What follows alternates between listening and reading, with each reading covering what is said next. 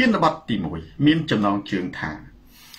ចង់ជួបសម្ដេចអឿនស្រីលីសនឹងចម្រើនផល ត្រូវធ្វើតេស្តបើមិនដូច្នេះជួបអនឡាញណាហើយដែលខ្ញុំសោចនៅក្នុងប្រធានបទនេះហេតុអ្វីពីព្រោះបន្តិចទៀតប៊ុនណាលីម ខ្ញុំនឹងបកស្រាយនៅក្នុងរបៀបនេះរបៀបរយៈទី2បកស្រាយប្រធានបទបន្ទាប់ពីគ្រឿងខ្លែមនៅក្នុងប្រធានបទទី1នេះ Isa Enterprise ចែកផតខ្ញុំភ្ជាប់ណាទៅនឹង COVID ដែលពេទ្យទាត់ចោលណាដែលខ្ញុំដាក់ចំណងជើងថាសត្វសាហែងសម្ដេចមើលពេទ្យរុញអ្នកជំងឺចោលផងឆេងហ៊ូ Columbus ខុសធ្ងន់ណាស់ អញ្ចឹងប្រធានបទទី1ហើយឆ្លងចូលទៅដល់ប្រធានបទទី2គឺជាប្រធានបទអមការពីសន្តិភាពកម្ពុជាប្រធានបទអមមានន័យថាជួនកាលខ្ញុំចូលភ្ជាប់តែម្ដងដោយជាប់ជាមួយនឹងកូវីដប៉ុន្តែខ្ញុំរំលឹកនៅចំណងជើងមួយមនរ៉ាឌីអានីសាលូណាថាតើចិនមានថ្នាំបន្សាបពឹស Salutary មុនបង្កើតកូវីដ ឬ COVID-19 ធម្មជាតិប្រិយមិត្ត share វីដេអូនេះទៅកាន់ប្រិយមិត្តដទៃទៀតពើសវណ្ណាសវណ្ណា ស្រាតទូរទស្សន៍សូនតារាស្រាតខោជន់ផ្ដាច់ការផ្លាស់ប្ដូរផ្នត់កំណត់ឆារ៉ាត់និង Camera Angel ថ្ងៃនេះមានគ្រឿងខ្លែង3ព្រោះប្រធានបទបកណាគ្រឿងខ្លែងវែងប្រធានបទខ្លីៗគ្រឿងខ្លែងទី1និងគ្រឿងខ្លែងទី2អឹងពិសិដ្ឋ និយាយពីចាស់ចាស់ CPP ឲ្យតែខ្ញុំលើកយកពាក្យសវ័តសួនចាស់ចាស់ CPP ដឹងតែមានប្រិយមិត្តសោចខ្ញុំខមមិន ថ្ងៃនេះខ្ញុំខមមិននៅលើណែរូបរបស់ខ្ញុំ កាលពីម្សិលមិញថ្ងៃនេះខ្ញុំអត់បានផុសអត្ថបទអីទេដោយសារជាប់រវល់មកព្រឹកបាត់ដំបងស្រុកស្រុកខ្ញុំរូបដែលខ្ញុំបើកឡាន ទៅកំពង់សោម មានបងប្អូនយើងឆាត់សៀងហៃថាអេលោកគ្រូនៅស្រុកបារាំងបើកឡានចកោតឆ្វេងចកោតស្ដាំមានបងប្អូនយើងមិនតាច់ទេបាទគាត់ទៅថាគាត់មើលរូបអត់មើលអត្តបទធម្មតាអត្តបទខ្ញុំមើលកណារូបភាពចាស់ចាស់ខ្ញុំសរសេរនៅលើហ្នឹងហ្នឹងប៉ុន្តែអត់បន្ទោសទេបាទអានឹងជាចិត្តសាស្ត្រនៅក្នុង Facebook មនុស្សនៅក្នុង Facebook បើសិនជាយើងគ្រប់គ្រងផងអ្នកខ្លះគាត់តែឃើញរូបចុចប៉ាត់អត់ដឹងអានឹងគេសរសេរថាម៉េចទេបើខ្ញុំអត់ទេណា ខ្ញុំអានរូបគ្នាឯងក៏ដោយតើខ្ញុំអានខ្ញុំអាននេះខ្ញុំស្រឡាញ់អត្ថបទហ្នឹងណាអានឹងចឹងប៉ុន្តែបើសិនជាអ្នកនោះជាអ្នកធ្វើចលនាប្រឆាំងទៅនឹងរបបផ្ដាច់ការទោះជាអត្ថបទយ៉ាងណាខ្ញុំចុច like ដែរមានន័យថាលើកទឹកចិត្តណាអានឹងបន្តិចយ៉ាងហើយក៏ខ្ញុំនៅតែអានមិនមានន័យថាឲ្យតែពុកបងប្អូនលោកគ្រូនៅឯណាហ្នឹងអា លោកគ្រូកំពុងធ្វើស្អីគេតាមពិតអ្វីអ្វីបើកាលណាខ្ញុំចង់បញ្ជាក់ខ្ញុំច្រើនណាស់សត្វសារុរៈដាក់នៅក្នុងរង្វង់កញ្ចក់វ៉ាន់នីម៉ាត់អញ្ចឹងវីដេអូរូបនឹងសុកស្រីលីនតាំងពីឆ្នាំចុងឆ្នាំ2017ណាក្រោយពេលបោះឆ្នោតឃុំសង្កាត់អានឹងវាចុងឆ្នាំ2017ហើយមុនគេរំលាយគណៈបកសង្គ្រោះជាតិបើតាមខ្ញុំចាំបំផែជាមួយសប្តាហ៍ គឺខ្ញុំក្រោយពីបោះឆ្នោតក្រុមប្រឹក្សាឃុំសង្កាត់ជោគជ័យប្រហែលមួយខែពីរខែហ្នឹងមួយសប្តាហ៍ហ្នឹងខ្ញុំធ្វើដំណើរទៅកំពង់សោមទៅលេងទេព្រោះខ្ញុំចូលចិត្តធម្មជាតិបាទហើយអញ្ចឹងទៅខ្ញុំខមមិននៅក្នុងអត្ថបទនេះខ្ញុំប្រើអត្ថបទមួយដែលខ្ញុំសូមមិននេះទេបងប្អូនទៅមើលទៅបើជាច្រើនហាម FE ខ្ញុំប្រើពាក្យចាស់ចាស់ CPP គ្រាន់តែអ្នកចុចលើអាពាក្យណែសោចនៅលើចាស់ចាស់ CPP ហ្នឹងចិត្ត50នាក់សិតតែរូបសោចពាក្យហ្នឹងវាទៅជាកំ pl ែងអញ្ចឹងមកនៅថ្ងៃនេះ ជានីសន្តនាចនីសន្តនាខ្ញុំលើកយកនៅកំណត់ចាស់ចាស់ CVP ដូចតទៅគ្រឿងខ្លែងទី1ហ្នឹងគឺឆ្លើយតបទៅនឹងចាស់ចាស់ CVP ដែលគាត់ថាចែកផ្ញើសារជាសម្លេងទៀតបងប្អូនណាជាសម្លេងហ្មងច្បាស់អេដមីនខ្ញុំក៏អត់ដៃចូលមើលប៉ុន្តែអត់ទេអានឹងហាមអត់ឲ្យចូលមើលទេបាទអឺឯងឈប់ឈួតទៅ ប៉ាសពតវីសាស្រីនាងខូចពូជខ្មែរអស់ហើយណា Mitch Ramage ខខ្ញុំអត់បានតបសារទេម្នាក់ម្នាក់ទៀតចាស់ចាស់ CPP ដែរសំលេងគាត់មើលរូបថតបងរូបថតមើលទៅរឿងតណៅតណៅប៉ះដូចគេតន់សម័យគេថត selfie គេថតមានអីរូបថតយកកាយករូបថតអតញ្ញិនបានមកដាក់ ឲ្យកូនថតទៅកាត់អារូបថតតញ្ញិនបានយកមកដាក់រៀនព្រាលព្រាលតែស្ដាប់សំលេងទៅចាស់ចាស់ CP ម្នាក់ទៀតខ្ញុំតស្រដៀងនឹងគាត់ថាខ្មែរអត់មានអាពូជដែលធ្វើឲ្យខូចប្រទេសជាតិមុខមាត់ដើរទៅនិយាយឡូឡាអញ្ចឹងទេគេនិយាយលើកដង្កើងអំពីខ្មែរខ្ញុំក៏បានតបគាត់ពីម៉ាត់ដូចតទៅចម្លើយចាស់ សខុមសុសានសោខ្ញុំថាខ្ញុំលើកដង្កើងពូជខ្មែរណាស់ព្រោះខ្ញុំជាឈាមខ្មែរដូច្នេះបានជាទូរទស្សន៍សូនារាវាយផ្ដួលទូរទស្សន៍គណៈបកប្រជាជន50ប៉ុក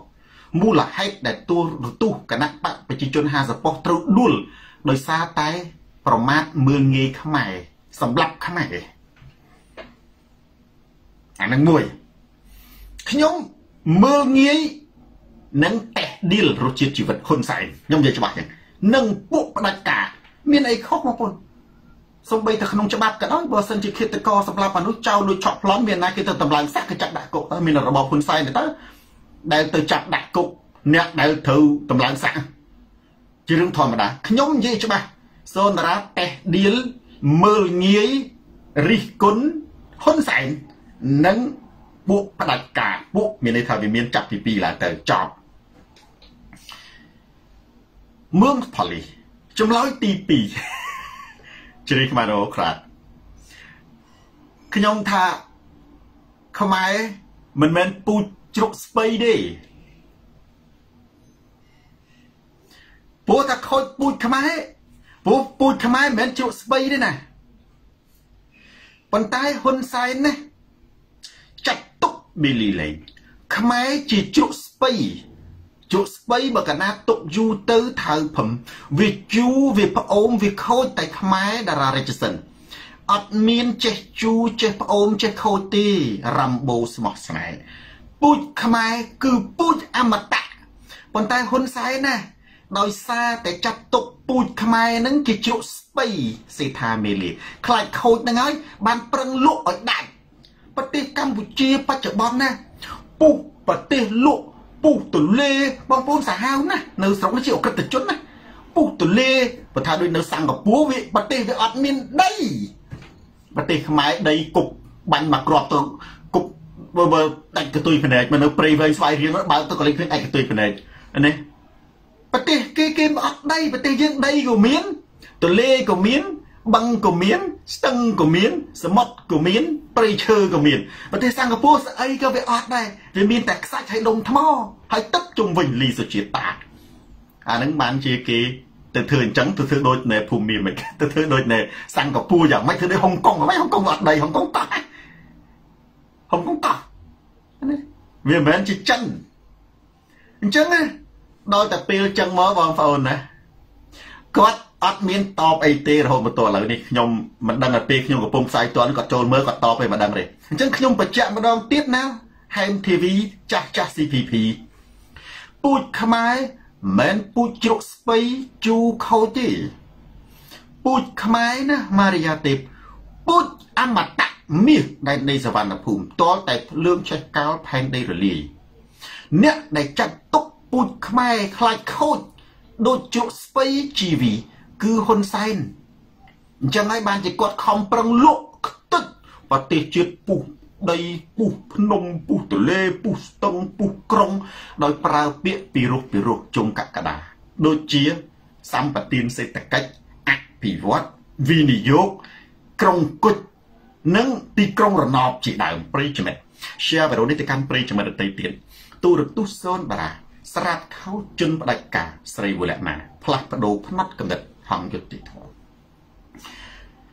ចាស់ចាស់ CPP គ្រឿងខ្លែងទី2ថ្ងៃនេះគ្រឿងខ្លែងលេងយកចាស់ចាស់ CPP មកដាក់ទាំងអស់មកស្តៀងស្តៀងគ្នាដាក់ផ្សេងទៀតគាត់ចេញមកសំលេងដែរតែខ្ញុំសង្ស័យចាស់ចាស់ CPP គាត់សើជាសរសេរហ្មងណាអញ្ចឹងគាត់ផ្ញើទៅសំលេងគាត់ថាពួកឯងធ្វើនយោបាយអន់ណាស់លីសំអូន ធ្វើមិនឈ្នះគេដេកបានឲ្យគេងាប់ព្រោះអានឹងពាក្យនឹងមិនមែនថ្មីទេហ៊ុនសែនក៏ធ្លាប់ថាដែរអូខេដេហើយគណៈបព្វជិជនក៏ធ្លាប់ថាឲ្យខ្ញុំច្រើនដល់ខ្ញុំដែរតបហើយមានណែខ្ញុំជួនកាលខ្ញុំអានខមមិនចំដែរខ្ញុំអត់ចេះតែភ្លេចអត់បានយកធ្វើគ្រឿងខ្លែងបើពេលខ្លះខ្ញុំអត់មានអារម្មណ៍ចង់ឆ្លោយដល់ពេលខ្លះខ្ញុំគិតថាយេឃើញចាស់ចាស់ CPP មកកុំឲ្យអបសុកឆ្លោយគាត់មួយម៉ាត់ពីរម៉ាត់ទៅប្រិយមិត្ត មនុស្សយើងខ្ញុំក៏តបទៅគាត់ពីរដងវិចិត្រសួនវិចិត្រស៊ីសុកដឿនខ្ញុំថាខ្មែរណាមិនដែលសុំទោសខ្ញុំថាខ្ញុំសូនតារាជាតិខេមរាមិនចូលចិត្តបន់ឲ្យអ្នកណាស្លាប់ទេខ្ញុំធ្លាប់បញ្យល់ថាអញ្ចេះអ្នកណាបន់ឲ្យហ៊ុនសែនស្លាប់ជាសត្រូវរបស់សូនតារា ហេតុអីពីព្រោះបើហ៊ុនសែនស្លាប់យើងជោគជ័យហ៊ុនសែនមើលអត់ឃើញវាអត់ន័យខ្ញុំចង់ឲ្យហ៊ុនសែនណានៅរស់បើកភ្នែកមើលការផ្លាស់ប្ដូរជាក់ស្ដែងនឹងភ្នែកដឹងថាគណៈបកសង្គ្រោះជាតិដឹងថាសូនតារាខ្លាំងប៉ុណ្ណាខ្ញុំអត់មានចរិតដូចហ៊ុនសែនណាឈ្នះតែអ្នកស្លាប់ នឹងជាប់គុកទេចរិតសូនតារាខ្លាំងជាងហ៊ុនសែនអញ្ចឹងបានជាខ្ញុំតែងតែនិយាយថាចេះច័ន្ទឌីណាមបវណ្ណដេតកុំយកសូនតារាទៅប្រៀបធៀបជាមួយឆ្កែហ៊ុនសែនណារាវីមិនចឹងសូនតារាលំដាក់កម្រិតស្មើនឹងលើហ៊ុនសែនបើនិយាយអំពីលំដាប់កម្រិតលើហ៊ុនសែនមានច្រើនណាស់ដូចជាម៉េចបញ្ញាសច្ចធម៌ឆ្លៀសវៃអាចលើហ៊ុនសែនណា បើពីមុនពីក្មេងខ្ញុំមិនដឹងទេហ៊ុនសែនអាចប្រហាក់ប្រហែលសូនតារាបាទនេះប៉ុន្តែបើថាគាត់ចាស់ហើយខ្ញុំឈ្នះគាត់ត្រង់គាត់ចាស់ហ្នឹងគាត់ទ្រុបទ្រោមហើយបាទគាត់វែងហ្នឹងមិនដឹងជាគាត់ស្លៀកខោទឹកនោមឬអីចឹងឈ្នះតែនេះមួយមួយទៀតបងប្អូនណាហ៊ុនសែនលើបាត់ដៃសូនតារាតែសូនតារាអត់នៅលើបាត់ដៃហ៊ុនសែនទេម៉េចសូនតារាមើលហ៊ុនសែនធ្លុះទាំងអស់សំណាងស្រីហ៊ុនសែនមើលសូនតារាធ្លុះទេរតនារតនីអានឹងមួយ មួយទៀតអ្វីដែលសូនតារាឈ្នះហ៊ុនសែនខ្លាំងជាងគេបំផុតទីចន្ទរារាមាគឺសូនតារាចូលចិត្តឈ្នះមនុស្សដៃអត់ជាប់ចំណងនិងមនុស្សមានកម្លាំងពេញខុសពីហ៊ុនសែនជនកំសាឈ្នះតែអ្នកងាប់ហើយនឹងអ្នកជាប់គុកឥឡូវបងប្អូនហ៊ុនសែនដើម្បីចង់ឈ្នះគេធ្វើម៉េចអើមានងាប់បញ្ជាប់គុកនោះបានទើបឈ្នះទើបហ៊ុនសែនឈ្នះបានតែសូនតារាអត់ទេ ជាកូនកសិករកាលើវក្រីក្រស្លៀកខោរហែកស្បែកជើងចងខ្សែដើមចេកមានក្បាលមួយនៅស្រុកបារាំងមែនទេជាកូនអ្នកទុនខ្សោយអត់មានកងទ័ពអំណាចកងកម្លាំងប្រដាប់អាវុធអីទេប៉ុន្តែហ៊ានលេងជាមួយហ៊ុនសែនដែលជាជនកំណាចមហាអំណាចនៅប្រទេសកម្ពុជា មានកងទ័ពលុយមានអាវុធពេញដៃ បងប្អូនហ៊ុនសែនណាគាត់ត្រឹមតែដុតផ្ទះមួយអត់មានអីអស្ចារ្យទេព្រោះគាត់មានកំភ្លើងលងនេះមានអំណាចពេញដៃប៉ុន្តែមនុស្សអស្ចារ្យគឺជាមនុស្សដែលជាកូនកសិករក្រីក្រស្លៀកខោរហែកស្បែកជើងចងខ្សែដើមចេកទេណាហ៊ានទលេងជាមួយនឹងជនផ្ដាច់ការដ៏សាហាវអានឹងបានវាអស្ចារ្យបើយើងនិយាយនៃធៀបគេថាអញ្ចេះរឿងតម្រៃជន់ចាបងាត់ប៉ុណ្ណា វាអត់មានបញ្ហាទេប៉ុន្តែបើសិនជាចាបជន់តម្រៃកប់ដីអានឹងទើបអស្ចារ្យសូនតារាប្រៀបដូចជាសត្វចាបដែលជន់តម្រៃហ៊ុនសែននឹងកប់ផុកអានឹងអស្ចារ្យណាស់ណាអស្ចារ្យណាស់ចម្លើយទី1អានេះខ្ញុំអានេះខ្ញុំបញ្យល់ទេប៉ុន្តែចម្លើយខ្លីខ្ញុំឆ្លើយទៅគាត់ណាខ្ញុំថាចេះសូនតារាអត់មានបន់ឲ្យអ្នកណាស្លាប់ទេអ្នក ដែលបន់ឲ្យហ៊ុនសែនស្លាប់ជាសត្រូវរបស់សូនតារាពីព្រោះសូនតារាបៃណៃ phone shop មិនជាបុគ្គលថោកទាបឈ្នះតែខ្មោចហើយនឹងអ្នកជាប់ខ្នោះដោយហ៊ុនសែនទេមើលមុខខ្ញុំមិនច្បាស់បងប្អូនមើលមុខសូនតារាច្បាស់សូនតារាជាប្រភេទមនុស្សឈ្នះមនុស្សដៃអត់ជាប់ចំណងហើយមានកម្លាំងបើអ្នកប្រកួតជាមួយសូនតារាដៃជាប់ចំណងណាខ្ញុំទៅស្រាយឲ្យពេញកម្លាំងបវៃជាមួយខ្ញុំទៀត ខ្ញុំអត់មានចរិតដូចហ៊ុនសែនឈ្នះតែដៃជាប់ចំណងហើយនឹងខ្មោចទេមើលមុខសូនរាយច្បាស់ទី1ជំរាបទៅចាស់ចាស់ CPP អានឹងចម្លើយខ្ញុំទី1ខ្ញុំថាចម្លើយទី2គាត់ឆ្លើយច្រើនបោបាច់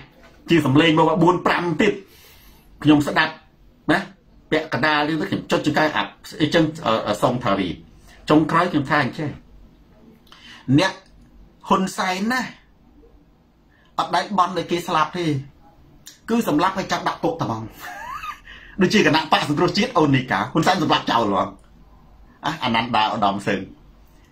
បាទហ៊ុនសែនគាត់និយាយហ្មងគាត់ថាបឈូគាត់និយាយតែបើអញដឹងតន់ណាអានឹងបំខ្មោចអានឹងមិនសម្លាប់គ្នាវាទុនខ្សោយបានគ្នាបន់បងប្អូនបើគ្នាខ្លាំងលើហ៊ុនសែនគ្នាមានអីទៅបន់គ្នាទៅចាប់ហ៊ុនសែនហ៊ុនសែនមូលស្លុកជាបាត់ហើយរាវុធលយ អញ្ចឹងមនុស្សហ៊ុនសែនពេលដែលគាត់ខឹងពេលដែលគាត់ក្តៅក្រហាយគាត់ទៅជិះជន់គេគាត់ទៅចាប់គេដាក់គុកគាត់ទៅសម្លាប់គណៈបកគេគាត់ទៅសម្លាប់គេចង់ឧទាហរណ៍អញ្ចឹងអញ្ចឹងរបស់គ្នាទុនខ្សោយគ្នាមានធ្វើមានគ្នាមានតែបំហ្នឹងហើយបងអញ្ចឹងមិនមានអីខុសខ្ញុំឲ្យតែគណៈបកប្រជាជនណានិយាយដើរតួធ្វើជាអធិមត្រូវខ្ញុំចង់តែក្អួតបងប្អូនជាពិសេសចាស់ចាស់ CPP និយាយមកចង់តែខ្ពើមគេដើរតួធ្វើឯងនេះដូចជាអធិមត្រូវអយុត្តិធម៌គេថាឯងនឹងសិទ្ធប្រមាថជីវិតគេអើអាអ្នកដែលស្អប់ការប្រមាថជីវិតពេលគេថាសូនតារានឹងដួលស្លាប់ក្នុងបគុណហើយគេទះដៃឲ្យប្រាវហើយដល់គេថាហ៊ុនសែនវិញហើយបាត់មកថាគេប្រមាថបើតែឯងស្អប់លិមុខរឿងអីដែលឯងយកលិមុខទៅទូលនេះគេដើរតួធ្វើដូចជាឯងនឹងអយុត្តិធម៌អាមិនប្រមាថណាជីវិតអ្នករៀនអាត្រឹមត្រូវ ហើយការពិត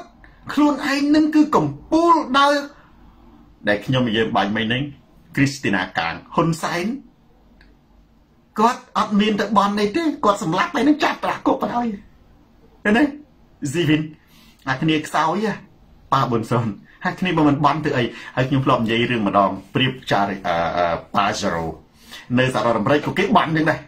រឿងប្រធាននាយកបដីម៉ាសា អញ្ចឹងប្រជាជនកម្ពុជាបន់ដាក់ទំនាយគ្នាវាអត់អីបងប្អូនគ្នាសល់តែគ្នាសល់តែបន់ស្រន់ដាក់ទំនាយហ្នឹងហើយណាបើគ្នាទៅពឹងច្បាប់ទៅពឹងអត់បានអាហ្នឹងយើងរត់ពិតចិន្តាពៅត្រូវតែឈឺចាប់វិញ ត្រូវតែនឹកឃើញថាអញគេខ្សោយបងប្អូនគ្នាទៅពឹងតឡាការវាអត់បាន គ្នាទៅពឹងអាជ្ញាធរវាអត់បាន គ្នាទៅពឹងច្បាប់អត់បានគេគ្នាទៅពឹងអ្នកដឹកនាំនឹងវាអត់បានអញ្ចឹងគ្នាសល់តែក្បាច់ចុងក្រោយគឺបន់ហើយនឹងដាក់ទំនាយប៉ុន្តែណាចិត្តជលសាខ្ញុំគ្រាន់ថាអញ្ចេះក្រៃលោកព្រះជាម្ចាស់កលោទេវតានឹងថាអឺដូចជានេះថ្លង់ណាម្នាក់ម្នាក់នឹងក្នុងចិត្តអត់និយាយផ្ទាល់ទេខ្លាចគេចាប់ដាក់គុកអញ្ចឹងមានធ្វើម៉េច អើជូនតាមសំណើរម្ងទៅដាក់ពមៀននេះពេលដែលផ្សាយផ្ទាល់ចេះតែផ្លិចចុចដង្ហើមបើកសុំទោសបងប្អូនមិនចង់នៅខាងក្រោយខ្នងបាទអញ្ចឹងវាក្តៅពោធម្មតាចេះនិយាយតែនេះតិចអឺធម្មតាខ្ញុំលើកទៅខ្ញុំបើកប្អួយទាំងអស់ដល់ទៅពេលផ្សាយផ្ទាល់បិទដល់យើងយើងផ្លិចដឹងបាទបើកប្អួយទៅស្អីខ្យល់បរិយាកាសល្អណែហើយយើងផ្សាយផ្ទាល់យើងបិទគឺកុំឲ្យថ្លង់ទៅគេបាទ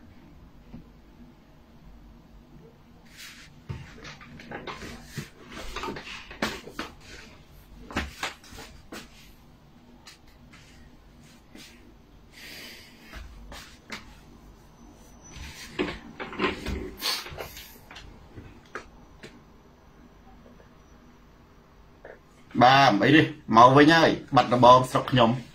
គ្រឿងខ្លែងទី3គ្រឿងខ្លែងទី3នេះណែនិយាយខ្លីអត់វែងនេះមួយម៉ាត់ទៅចុះតពីកាលមុនបន្តិចរឿងនិស្សិតខ្មែរ6នាក់ឥឡូវស្រីណា របបហ៊ុនសែនយោងតាមសេចក្តីថ្លែងការណ៍របស់ក្រសួងការពារជាតិនៃរបបហ៊ុនសែនបានទទួលខុសត្រូវចេញថ្លៃបើសរុបជាទឹកប្រាក់ទៅប្រហែលជាង1លានដុល្លារអាមេរិកសម្រាប់និស្សិត6នាក់ បងប្អូនខ្ញុំគ្រាន់តែប្រាប់ថាចេះពេលដែលយើងនិយាយអំពីវិស័យអប់រំ នៅលើពិភពលោកណាជាអតិភិបផ្សាយសុខាលី នៅទីណាក៏ដោយគេច្រើនតែចំណាយថវិការដ្ឋច្រើនជាងអ្វីអ្វីទាំងអស់ជាពិសេសនៅប្រទេសដែលខ្ញុំរស់នៅស្រុកបារាំងនៅក្នុងប្រទេសកម្ពុជា វិស័យអប់រំមិនមែនជាអត្តភាពទី1ទេវិស័យអង្គរៈការពារស្បែកជើងហ៊ុនសែនជាអត្តភាពទី1បើកាលណាលោកប្រាជ្ញប្រទេសមួយមិនដាក់វិស័យអប់រំថាវិការរដ្ឋចំណាយដើម្បីបណ្ដុះបណ្ដាលអតិភិបទី1ទេណាហើយឲ្យតម្លៃទៅលើនេះកងមិនមែនវិស័យការពារជាតិទេ ហ៊ុនសែនចំណាយលើវិស័យការពារជាតិគ្រាន់តែជាការបោកប្រាស់ទេចំណាយលើវិស័យអង្គរៈអស់លុយច្រើនណាស់ប្រជាជនកម្ពុជាគ្មានបានប្រយោជន៍អីទេប្រជាជនកម្ពុជាសិស្សសានុសិស្សកូនខ្មែរយើងប្រឹងរៀនរំពឹងថាបានការងារធ្វើបានប្រាក់ខែគ្រប់គ្រាន់គេអត់មានខិតខំប្រឹងរៀនប្រជាជនណាដែលបងពុនជូនរដ្ឋ ថ្លៃសាំងថ្លៃឡានពុនឡានគេរំពឹងថាបានផ្លូវល្អបានសេវាកម្មរដ្ឋល្អបានសេវាកម្មមន្ទីរពេទ្យល្អបានសេវាកម្មសាធារណៈបច្ចេកទេសរដ្ឋបាលល្អគេអត់រំពឹងថាគេបងនឹងយកលុយឲ្យហ៊ុនសែនយកលុយទៅទិញអាវក្រោះឲ្យពួកអង្គរៈមកវាយក្បាលប្រជាជនទេសឿនង៉ែតអានឹងគឺជារឿងមួយដែលខ្ញុំថាវិស័យអប់រំនៅក្នុងប្រទេសកម្ពុជាជាធ្លាក់ខ្ញុំតនេះមុននឹងបញ្ចប់ ចូលទៅដល់ប្រធានបទមួយដែលសំខាន់គឺបងប្អូននៅសហរដ្ឋអាមេរិកโจ Biden ស៊ីណៃធីចន្ទ្រារ៉ាម៉ានិងរ៉ាំអ៊ុនកាលពីម្សិលមិញបានប្រកាសណាមប៊ុនដលី និងលេងពេងសការងារ3លានការងារថ្មី3លាន ចាត់តាំងពីចូលកាន់តំណែង ច្រើនណាស់បងណាការងារថ្មី3លានណាបងណាច្រើនណាស់មានន័យថា ការងារនៅអាមេរិកអាចកើតតទៀតនៅក្នុងប្រទេសកម្ពុជាឥឡូវនេះគឺតោកយ៉ាហើយអញ្ចឹងវាឆ្លុះបញ្ចាំងអំពីខួរក្បាលរបស់អ្នកដឹកនាំដែលវាអន់ហើយបងប្អូននៅលើពិភពលោកយើងយើងចាំងត្រង់នេះ នៅក្នុងពិភពលោកប្រទេសមួយដែលអាចរីកចម្រើនទៅបានតើតែលើកកម្ពស់វិស័យអប់រំដូចជានៅប្រទេសសិង្ហបុរីមានតែដីខ្សាច់និងដុំថ្មពីព្រោះវិស័យអប់រំជាវិស័យបណ្ដុះខួរក្បាលធនធានមនុស្សឲ្យតែមានប្រាជ្ញាមានចំណេះដឹងដុំថ្មក៏អាចคลายទៅជាអវកាសបានដែរក៏អាចคลายទៅជាពេជ្របានដែរប៉ុន្តែមនុស្សល្ងងណាពេជ្រ ក៏យកទៅធ្វើដុំថ្មបានដែរប្រិយមិត្ត share វីដេអូនេះទៅកាន់ប្រិយមិត្តដទៃទៀតគូពឹងទូរទស្សន៍សូនតារាព្រំសុភាស្រាតខោជន់ផ្ដាច់ការផ្លាស់ប្ដូរផ្នត់កំណត់យើងចូលទៅដល់ប្រធានបទទី1ប្រធានបទទី1ចែកចេញជា2ចំណុចទី1ចង់ជួបសម្ដេចត្រូវធ្វើតេស្តស្រីម៉ៅរ៉ាស់ បើមិនដូច្នេះជួបអនឡាញចំណុចទី1ចំណុចទី2សម្ដេចអើយជួយមើលពេទ្យផងរុញអ្នកជំងឺចោលច្រើនណាស់ខុសធ្ងន់ណាស់ពីចំណុចនេះចំណុចទី2បូបូរណានឹងប្រទៀងទៅ ប្រធានបទអមទី2ឥឡូវទី1នៅក្នុងប្រធានបទទី1នេះ ខ្ញុំដាក់ហាហាហាហាហ្នឹងណាទីបំផុត is enterprise អានឹងគឺសោចហេតុអីបានជាខ្ញុំសោចពីព្រោះហ៊ុនសែនដើរលើបាត់ដៃសូនតារាបងប្អូនណាទោះជាហ៊ុនសែនខំថតវីដេអូផ្សាយផ្ទាល់ទោះជាហ៊ុនសែនខំនិយាយខ្លាំងខ្លាំងទោះជាហ៊ុនសែនខំធ្វើមុខមមហងតារាបណ្ឌិតកៅស៊ូ ក៏សូនតារានៅតែនិយាយថាសម្ដេចឈឺធ្ងន់ដេកលើកទៀលខ្មែរយើងកទៀលគាត់ថាហ៊ុនសែនគាត់លើពូកទេគាត់ថាខ្មែរយើងថាកទៀលទោះជាអ្នកណាថាម៉េចក៏ដោយក៏ខ្សនរាថាសម្ដេចឈឺធ្ងន់ដេកលើកទៀលសម្ដេចដើរអត់រួចទេសុខុមសម្ដេចនៅក្នុងផ្ទះទំនងជាធ្វើដំណើរដោយរទេះរុញ សម្ដេចកំពុងតែត្រុតត្រោមគេថាអេលោកគ្រូឃើញហ៊ុនសែនគេថាចេះខ្ញុំថាអញ្ចឹងតដែលបងប្អូនចាំរំលឹកដូចខ្ញុំថាបើហ៊ុនសែនទៅវូហានណាអក្សរថៃសាងវាសនាខ្ញុំដើរស្រាប់ទុកជាហ៊ុនសែនថាម្ដងក៏ខ្ញុំថាផេះថាពីរដងក៏ខ្ញុំថាផេះថា3ដងខ្ញុំថាស្រាប់ឥឡូវដូចគ្នា ហ៊ុនសែនខំប្រឹងសម្ដែងធ្វើមុខមមខ្ញុំថាឈឺហើយដើររួចទេហ៊ុនសែនខំប្រឹងថតវីដេអូខ្ញុំតែឈឺហើយដើររួចទេហ៊ុនសែនខំប្រឹងនេះចេញមកនិយាយខ្លាំងខ្លាំងការដៃការជើងនេះសូតារាជាយុវវ័យចេះខ្ញុំថាឈឺហើយដើររួចទេ បងប្អូន CVP ចេះថាចាអានឹងគូមាត់រឹងណាស់ម៉េះអ្វីសម្ដេចខំចេញមកប្រប៉ុណ្្នឹងក្អេងក្អាងចងេងចងាងមុខកាមេរ៉ាមានអ្នកថតពីមុខផងពីក្រោយផងគេបាញ់ពន្លឺផងមានធូនី នៅតែសូនតារាតែឈឺទេខ្ញុំថាឈឺហើយឈួនសារ៉ាវេយោងហេតុអីគុណស៊ីណនយោងទៅលើរូបមន្តរបស់សូនយោងតែពីរបងប្អូនយោងតែពីរទី1រូបមន្តរបស់សូនតារា រូបមន្តទី1គឺថាហ៊ុនបូកនឹងសែនពូខូចស្មើនឹងកំរៀមបូកនឹងបោកចឹងហ៊ុនតែបោកទេរូបមន្តទី2រូបមន្តទី2ណាខ្ញុំកម្រប្រើណាហ្នឹងបើកាលណារំដាកឹមហ៊ុនសែនបង្ហោះរូបស្អាតស្អាតវាយកូនគោលហាត់ប្រាន សម្ដេចកំពុងតែបតោកសរោមនៅលើកន្ទេលក្នុងផ្ទះឬមន្ទីរពេទ្យច្បាស់រូបមន្តហ្នឹងអញ្ចឹងបងប្អូននេះវិរៈសំណាងឲ្យតែឃើញសម្ដេចផុសរូបស្អាតស្អាតអាហ្នឹងក៏ឈឺហើយពីមុនអត់ទេតែឥឡូវខ្ញុំនិយាយឥឡូវមិនស្រួលគាត់លួចទៅពេទ្យសក់ផងក៏មិនដឹងសាមយុទ្ធរីបងប្អូនណាមិនស្រួលសម្ដេចចាស់គាត់លួចទៅពេទ្យសិង្ហបុរីផងក៏មិនដឹងមិនចឹងអេខ្ញុំជឿថាទៅ ប៉ុន្តែអាចដែរបងប្អូនទោះសិង្ហបុរីក៏ល្ងាចបានតែជួនកាលមានភាពអាសន្នណាសាមសាលីគាត់លួចទៅពេទ្យសិង្ហបុរីចឹងទៅទៅពីព្រឹកល្ងាចមកវិញទៅបានគាត់ប្រជុំពេលយប់ទៅយើងចេះថាអូសម្ដេចចិត្តអត់មានទីសម្ដេចឈឺហើយអញ្ចឹងបានជាប្រធានបទនេះណាខ្ញុំសោតត្រង់សម្ដេចសារភាពថាណែវើយកូនចៅបាទសម្ដេចមើលទូរទស្សន៍សូនតារាទៅអាមិនចឹង ថាវានិយាយមិនខុសទេឯងចង់ដឹងពីអញណាអានេះខ្ញុំកុកពីមានសម្ដេចភាសាដល់ទូលខោនកុំមើលអញអញនិយាយនឹងណាសុយម៉ារ៉ូសុទ្ធតែជារឿងសម្ដែងទេរឿងពិតនៅឯណាសម្ដេចសាងពិសិដ្ឋរឿងពិតទៅមើលទូរទស្សន៍សូនតារាហ៊ុនសែនសារភាពច្បាស់ណាស់ថាសូនតារានឹងនិយាយត្រូវហើយអញណា នៅលើបាតដៃវាមែនត្រង់ណា យោងទៅលើអត្តបទរបស់សម្ដេចដូចតទៅវ៉ាន់ស្រេងយោងទៅលើអត្តបទរបស់សម្ដេចសម្ដេចកសេវើញខ្ញុំអត់ចង់អានមិនអ្នកនាំពាក្យរបស់កតកាឡៃទេប៉ុន្តែខ្ញុំដកស្រង់ចំណុចមើលកថាចេះ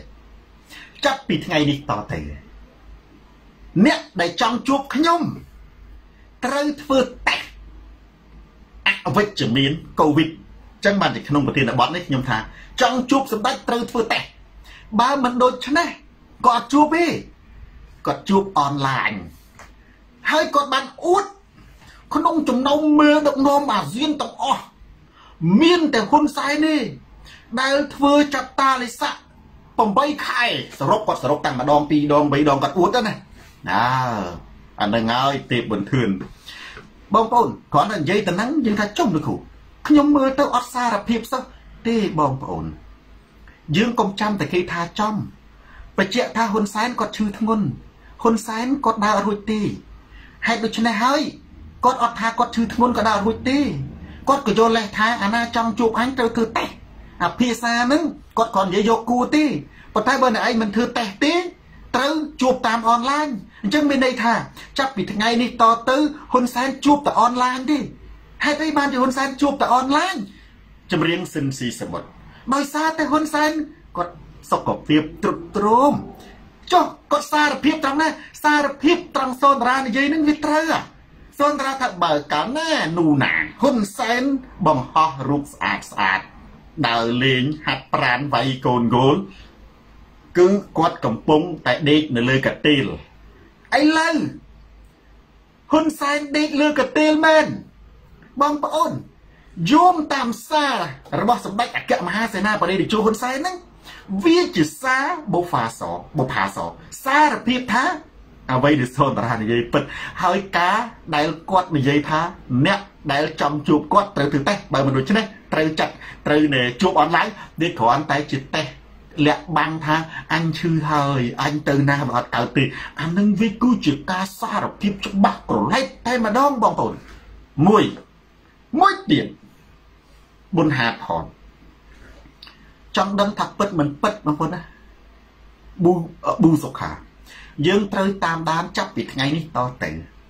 ហើយបើកណាសនរាហាមាត់ហើយណាដូចទៅវូហានអញ្ចឹងហ៊ុនសែនអត់ដើរថយក្រោយទេ មានតែទៅមុខហើយគាត់ដុនដាបខ្លាំងមែនទែនហើយប្រិយមិត្តថ្ងៃដែលគាត់និយាយខំប្រឹងយ៉ាងណាក៏ដោយ មិនស្រួលណាថ្ងៃដែលគាត់និយាយហ្នឹងថ្ងៃដែលទើបតែមកពីពេទ្យសិង្ហបុរីផងក៏មិនដឹងខ្ញុំជឿសក់ឥឡូវគួរមិនដឹងខ្ញុំថាគាត់មិនខ្ញុំមិនដឹងគាត់ទៅបើគាត់ទៅខ្ញុំមិនដឹងដែរបើគាត់ទៅអ្នកដឹងអ្នកអ្នកបលិននឹងហោះអ្នកណាបើអ្នកនៅបលិនហោះគេដឹងមកគេអត់មាត់ជួនកាលណាបើថាគាត់អត់ទៅក៏អត់ទៅបើគេគេលាក់ដែរហ្នឹងគាត់ដើរឃ្លុំឃ្លុំទៅយកបាវគ្រប់មុខមែនទេហើយមិនចឹងគាត់ខ្មាស់គេអញ្ចឹងចំណុចហ្នឹងដែលខ្ញុំថាហ៊ុនសែនហ្នឹងសារភាព យ៉ាងពិតប្រាកដហើយសម្ដីសារភាពរបស់ហ៊ុនសែនណាវាជាសារមួយដ៏ប្រយោលដែលប្រកាសជូនសាធារណជនថាអញ្ចេះរាវីណែវើយកូនចៅមនាលទាំងឡាយបើចង់ដឹងថាអញនឹងវាយ៉ាងណាកុំមើលលើសារទំព័រ Facebook របស់សម្ដេចអគ្គមហាសេនាបតីតេជោហ៊ុនសែនត្រូវតាមដានទូរទស្សន៍សនតារាព្រោះអញ ដើរលើបាតដៃសនតារាទេ ហើយឥឡូវនេះសនតារាបច្ចៈទៀតហើយគិងហឹងគិងហឿងថាអញនឹងវាឈឺទៅមុនណាវាទ្រុឌទ្រោមហើយបានជាអញនឹងមិនអោយអ្នកណាមកធ្វើតេស្តមិនអោយអ្នកណាមកជួបហើយជួបអនឡាញអានឹងជាលេសរបស់អញទេការពិតថាអញដើរវាអត់រួចបើយ៉ាងដូច្នោះដងចង់ដឹងថាសូនតារានិយាយពិតមិនពិតចាប់ពីថ្ងៃនេះតទៅហ៊ុនសែននឹងលែងដើរ ដូចមុនពេលដែលហ៊ុនសែនចេញពីចក្តាលិស័កខ្ញុំមិនដាក់ប្រធានបទមួយថាថ្ងៃទី2ណាហ៊ុនសែនខ្ញុំនិយាយកាលពីថ្ងៃទី23ថ្ងៃ29ខ្ញុំថា2 3ថ្ងៃទៀតហ៊ុនសែនចប់ចក្តាលិស័កពីអាទិត្យចាំមើលហ៊ុនសែនទៅណាខ្ញុំថាគាត់មានទៅណាគាត់ដើរទៅជុំវិញកន្លែងហាត់ប្រាណគាត់មែនបងប្អូនណាមែនដល់តែមែនអញ្ចឹងវាធ្វើអីលេងបុនឡងវាធ្វើឲ្យសម្ដីហ៊ុនសែនហ្នឹងណាសាបបងប្អូនសាបដូចទឹកបរិសុទ្ធ សម្ដីសនរាហ្នឹងវាប្រៃឲ្យផ្អែមមានន័យថាសម្ដីហ៊ុនសែនហ្នឹងគេលែងជឿខ្ញុំដល់សម្ដីហ៊ុនសែនគេលែងជឿនឹងមានប្រិយមិត្តម្នាក់គាត់ណែផ្ញើសារមកខ្ញុំខ្ញុំដាក់ខ្ញុំឆ្លោយខ្លីទេសុភាព LG GLG គាត់និយាយថាលោកគ្រូឥឡូវស្ថានភាពប្រទេសហ៊ុនសែនណាគាត់ត្រូវចេះត្រូវចុះត្រូវចេះគាត់ធ្វើអីគាត់និយាយរៀបរាប់ពេលនោះខ្ញុំផ្ញើសារតបទៅគាត់វិញខ្ញុំសួរមួយម៉ាត់ថានិតមិត្តណានមិត្តណានជឿហ៊ុនសែន ឬជឿសនតារាសឿនថ្ងៃខ្ញុំសួរតមួយម៉ាត់ហ្នឹង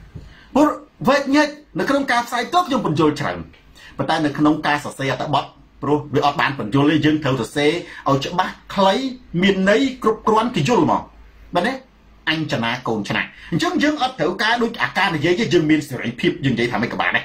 ប៉ុន្តែបើការសរសេរបងប្អូនសិល្បៈនៅក្នុងការសរសេរត្រូវនិយាយឲ្យខ្លីមានន័យគ្រប់គ្រាន់ងាយយល់សាមញ្ញគ្រីស្ទីណាកាង គាត់រៀបរាប់វែងគេថាហ៊ុនសែនជឿសិនខ្ញុំណាទុស្ប៉ាម៉ងប៉ូក៏ដាក់សំណួរថាចេះជឿហ៊ុនសែនឬជឿសូនរ៉ាសញ្ញាសួរបាក់សញ្ញាសួរបាក់គាត់អត់ដូចអល់ឯកក្នុងការឆ្លើយមកសទុះមកគាត់សួរដដែលទៀតអាផ្សេងគាត់គាត់គាត់អត់ចង់គាត់ចង់ឆ្លើយទេខ្ញុំនៅតែចេញសំណួរដដែលហ្នឹងប៉ុន្តែខ្ញុំកែវិញចិត្តជលសា ខ្ញុំថាបើជឿសូនតារា គឺហ៊ុនសែនកំពុងតែដើរធ្លាក់ចូលទៅក្នុងជ្រុះមរណៈនយោបាយបន្តិចម្ដងបន្តិចម្ដងបើជឿហ៊ុនសែនហ៊ុនសែនកំពុងតែក្មេងទៅក្មេងទៅនឹងមានជីវិតអមតៈដូចស៊ុនអ៊ូខុងមែនទេញាក់បុរីគាត់សោចបងប្អូនពេលអញ្ចឹង ខ្ញុំណានៅក្នុងព្រៃជីវិតនេះទីបបមុខស្រាប់ខ្ញុំសួរមួយ ស្ថានភាពរាល់ហ៊ុនសែនថ្លែងក៏ដោយហ៊ុនសែននៃក៏ដោយខ្ញុំជឿថាសួរថាតើជឿហ៊ុនសែនឬជឿសូនតារាចប់ប៉ុណ្ណឹងបើបងប្អូនណាគណៈបកប្រជាជនឥឡូវសំបីទៅគណៈបកប្រជាជនក៏គេជឿសូនតារាដែរហេតុអីមិននិយាយប៉ិន មុនពេលដែលហ៊ុនសែនចេញពីចតាលិស័កខ្ញុំមិនដាក់ប្រធានបទបងប្អូនមើលប្រធានបទហ្នឹងមើលដាក់ហ្មងចំមានចាស់ចាស់ CPP មួយគេថាចុះឯងនឹងក៏ម៉េះក៏ផ្ញើសារជាសម្លេងដែរហ៊ុនសែននឹងគាត់មានទៅរត់គាត់មានទៅឯណាគាត់នៅតែគាត់នឹងគាត់នៅតែនាយកមន្ត្រីគាត់នៅតែដឹកនាំប្រទេសហ្នឹងឯងទៀតរត់ចោលស្រុកសំរងស៊ីទៀតរត់ចោលស្រុកឯងក៏គេនៅឲ្យសុកមិនបាននៅអង្គុយវិភាគអីសំបីតែគេទៅណាក៏ឲ្យវិភាគដែរខ្ញុំបានដាក់សំដួរបងប្អូនបែរមានអ្នកណាចាំប្រធានបទនោះថា តើហ៊ុនសែនទៅណាខ្ញុំថាគាត់អត់ទៅណាទេគាត់ដាក់ជំនួយផ្ទះគាត់ហ្នឹងមានន័យថាម៉េចគាត់ដៅអត់រួចគាត់ឈឺហើយលើហ៊ុនសែនសារភាពមែនក្រោយពីចេញចតាលិស័កតូចចូលអាចតាលិស័កធំ មានន័យថាត្រុតទ្រូមកធម្មតាណែបងជា TK អ្នកដែលចាក់វ៉ាក់សាំងពីមជុលហើយណាម៉ាក្រុងចូលបៃដិនសូនតារាគឺអស់ហើយបងប្អូនខ្ញុំតំចាក់មកមជុលទេអ្នកដែលចាក់វ៉ាក់សាំងពីមជុលហើយណា គេដោះម៉ាស់គេម៉ាក្រុងគាត់ដើរទៅសន្ទរកថាគាត់ទៅប្រជុំគាត់ទៅអីហើយបើសិនជាចាក់វ៉ាក់សាំងពីមជុលហើយនៅចាត់តាលិស័កពីអាទិត្យហើយហាមកុំឲ្យគេទៅចិត្តគាត់ទៀតអានឹងមានន័យថាកុំឲ្យគេឃើញគាត់ឈឺតាព្រោះគឺចេញកាមេរ៉ាខ្ញុំនិយាយរឿងថាសេងឡៃស្ទឹងត្រែងរឿងមនុស្សអង្គុយមកកណាត់មិនដឹងថាខាងក្រោមវាយ៉ាងម៉េចយើងមិនដឹងថាហ៊ុនសែនអង្គុយលើរទេះ យើងមិនដឹងថាហ៊ុនសែនចកាអង្គុយបតោកសរោមគាត់អត់បតោកសរោមតាមដៃបតោកសរោមតាមកប៉េះគូតយើងមិនដឹងថានេះលឹមយើងមិនដឹងថាសម្បែកអង្គុយលើរទេះមានកាមេរ៉ាណាទៅចាប់បាទគេចាប់មកកណាត់ខ្នងអញ្ចឹងបើកណាត់អាចជួបមុខកាមេរ៉ាហ្នឹងថាស្អីក៏ល្អដែរទៅហើយអេតិពិសោកាកាជឿសូនតារាអត់ជឿខ្សែទេឥឡូវត្រឡប់មកដល់ចំណេះចំណុចទី2ចំណុចទី1នេះខ្ញុំគាត់ចង់បញ្ជាក់មកនេះថ្ងៃនេះកម្ពុជា បងប្អូនកូវីដបច្ចុប្បន្នណាវាលែងคล้ายជាកូវីដហើយវាคล้ายទៅជាកោខួរក្បាលខ្មែរបងហេតុអីបានខ្ញុំនិយាយថាអញ្ចឹងបងប្អូនមួយទៀតមន្ទីរពេទ្យបច្ចុប្បន្នណាឈប់ព្យាបាលអីទាំងអស់ខាន់គីមអាស្អីក៏កូវីដដែរមួយបងប្អូន នៅពេលណាដែលមន្ទីរពេទ្យបច្ចុប្បន្នឈប់ព្យាបាលអ្វីទាំងអស់ស្អីក៏កូវីដដែរមានន័យថាម៉េចមានន័យថាពេទ្យដែលព្យាបាលជំងឺមិនមែនកូវីដទាត់អ្នកជំងឺចោលទាំងអស់ប្រទេសកម្ពុជាធ្លាក់ចូលដល់វិបត្តិគោខួរក្បាលខ្មែរបងប្អូនដល់តែពេលគោខួរក្បាលខ្មែរអាមន្ទីរពេទ្យ អ្នកដែលមានជំងឺមិនមែនកូវីដវាទៅជាអត់ហ៊ានទទួលដេញគ្នាចេញឲ្យទៅងាប់លើឡានណាឲ្យទៅងាប់លើតុកតុកយើងនិយាយពាក្យងាប់ដើម្បីបង្ហាញអំពីការឈឺចាប់ដើម្បីបង្ហាញអំពីសំនឹងតេះឌីលនេះសំនឹងតេះឌីលចរិយាបុណ្យមរិយាទេអ្នកខ្លះស្លាប់នៅក្នុងផ្ទះអ្នកខ្លះស្លាប់ នៅលើឡានអ្នកខ្លះស្លាប់នៅលើតុកតុកអ្នកខ្លះស្លាប់នៅមន្ទីរពេទ្យដោយសារអីដោយសារតែគ្នាឈឺប៉ុន្តែមិនមែនកូវីដទេ ហើយដោយសារតែពេទ្យទាំងអស់ឲ្យតែអ្នកណាឈឺសុទ្ធតែអត់ទទួលសុំទោសបងប្អូនសុំតេះឌីលពាក្យឲ្យសមទៅនឹងពុទ្ធសាសនាគេថាតេះឌីលបកុលគួតេះឌីលឡើងឋានសួគ៌គេចាប់ដាក់ចុះសង្ឃឹមថាពាក្យតេះឌីលរបស់ខ្ញុំណាសនថារាសំ បានឡើងឋានសួគ៌ចុះខ្ញុំថាប្រព័ន្ធនេះអីស្អីរដ្ឋមន្ត្រីណាខ្ញុំអត់បន្ទោសសម្ដេចប្រមាណទេ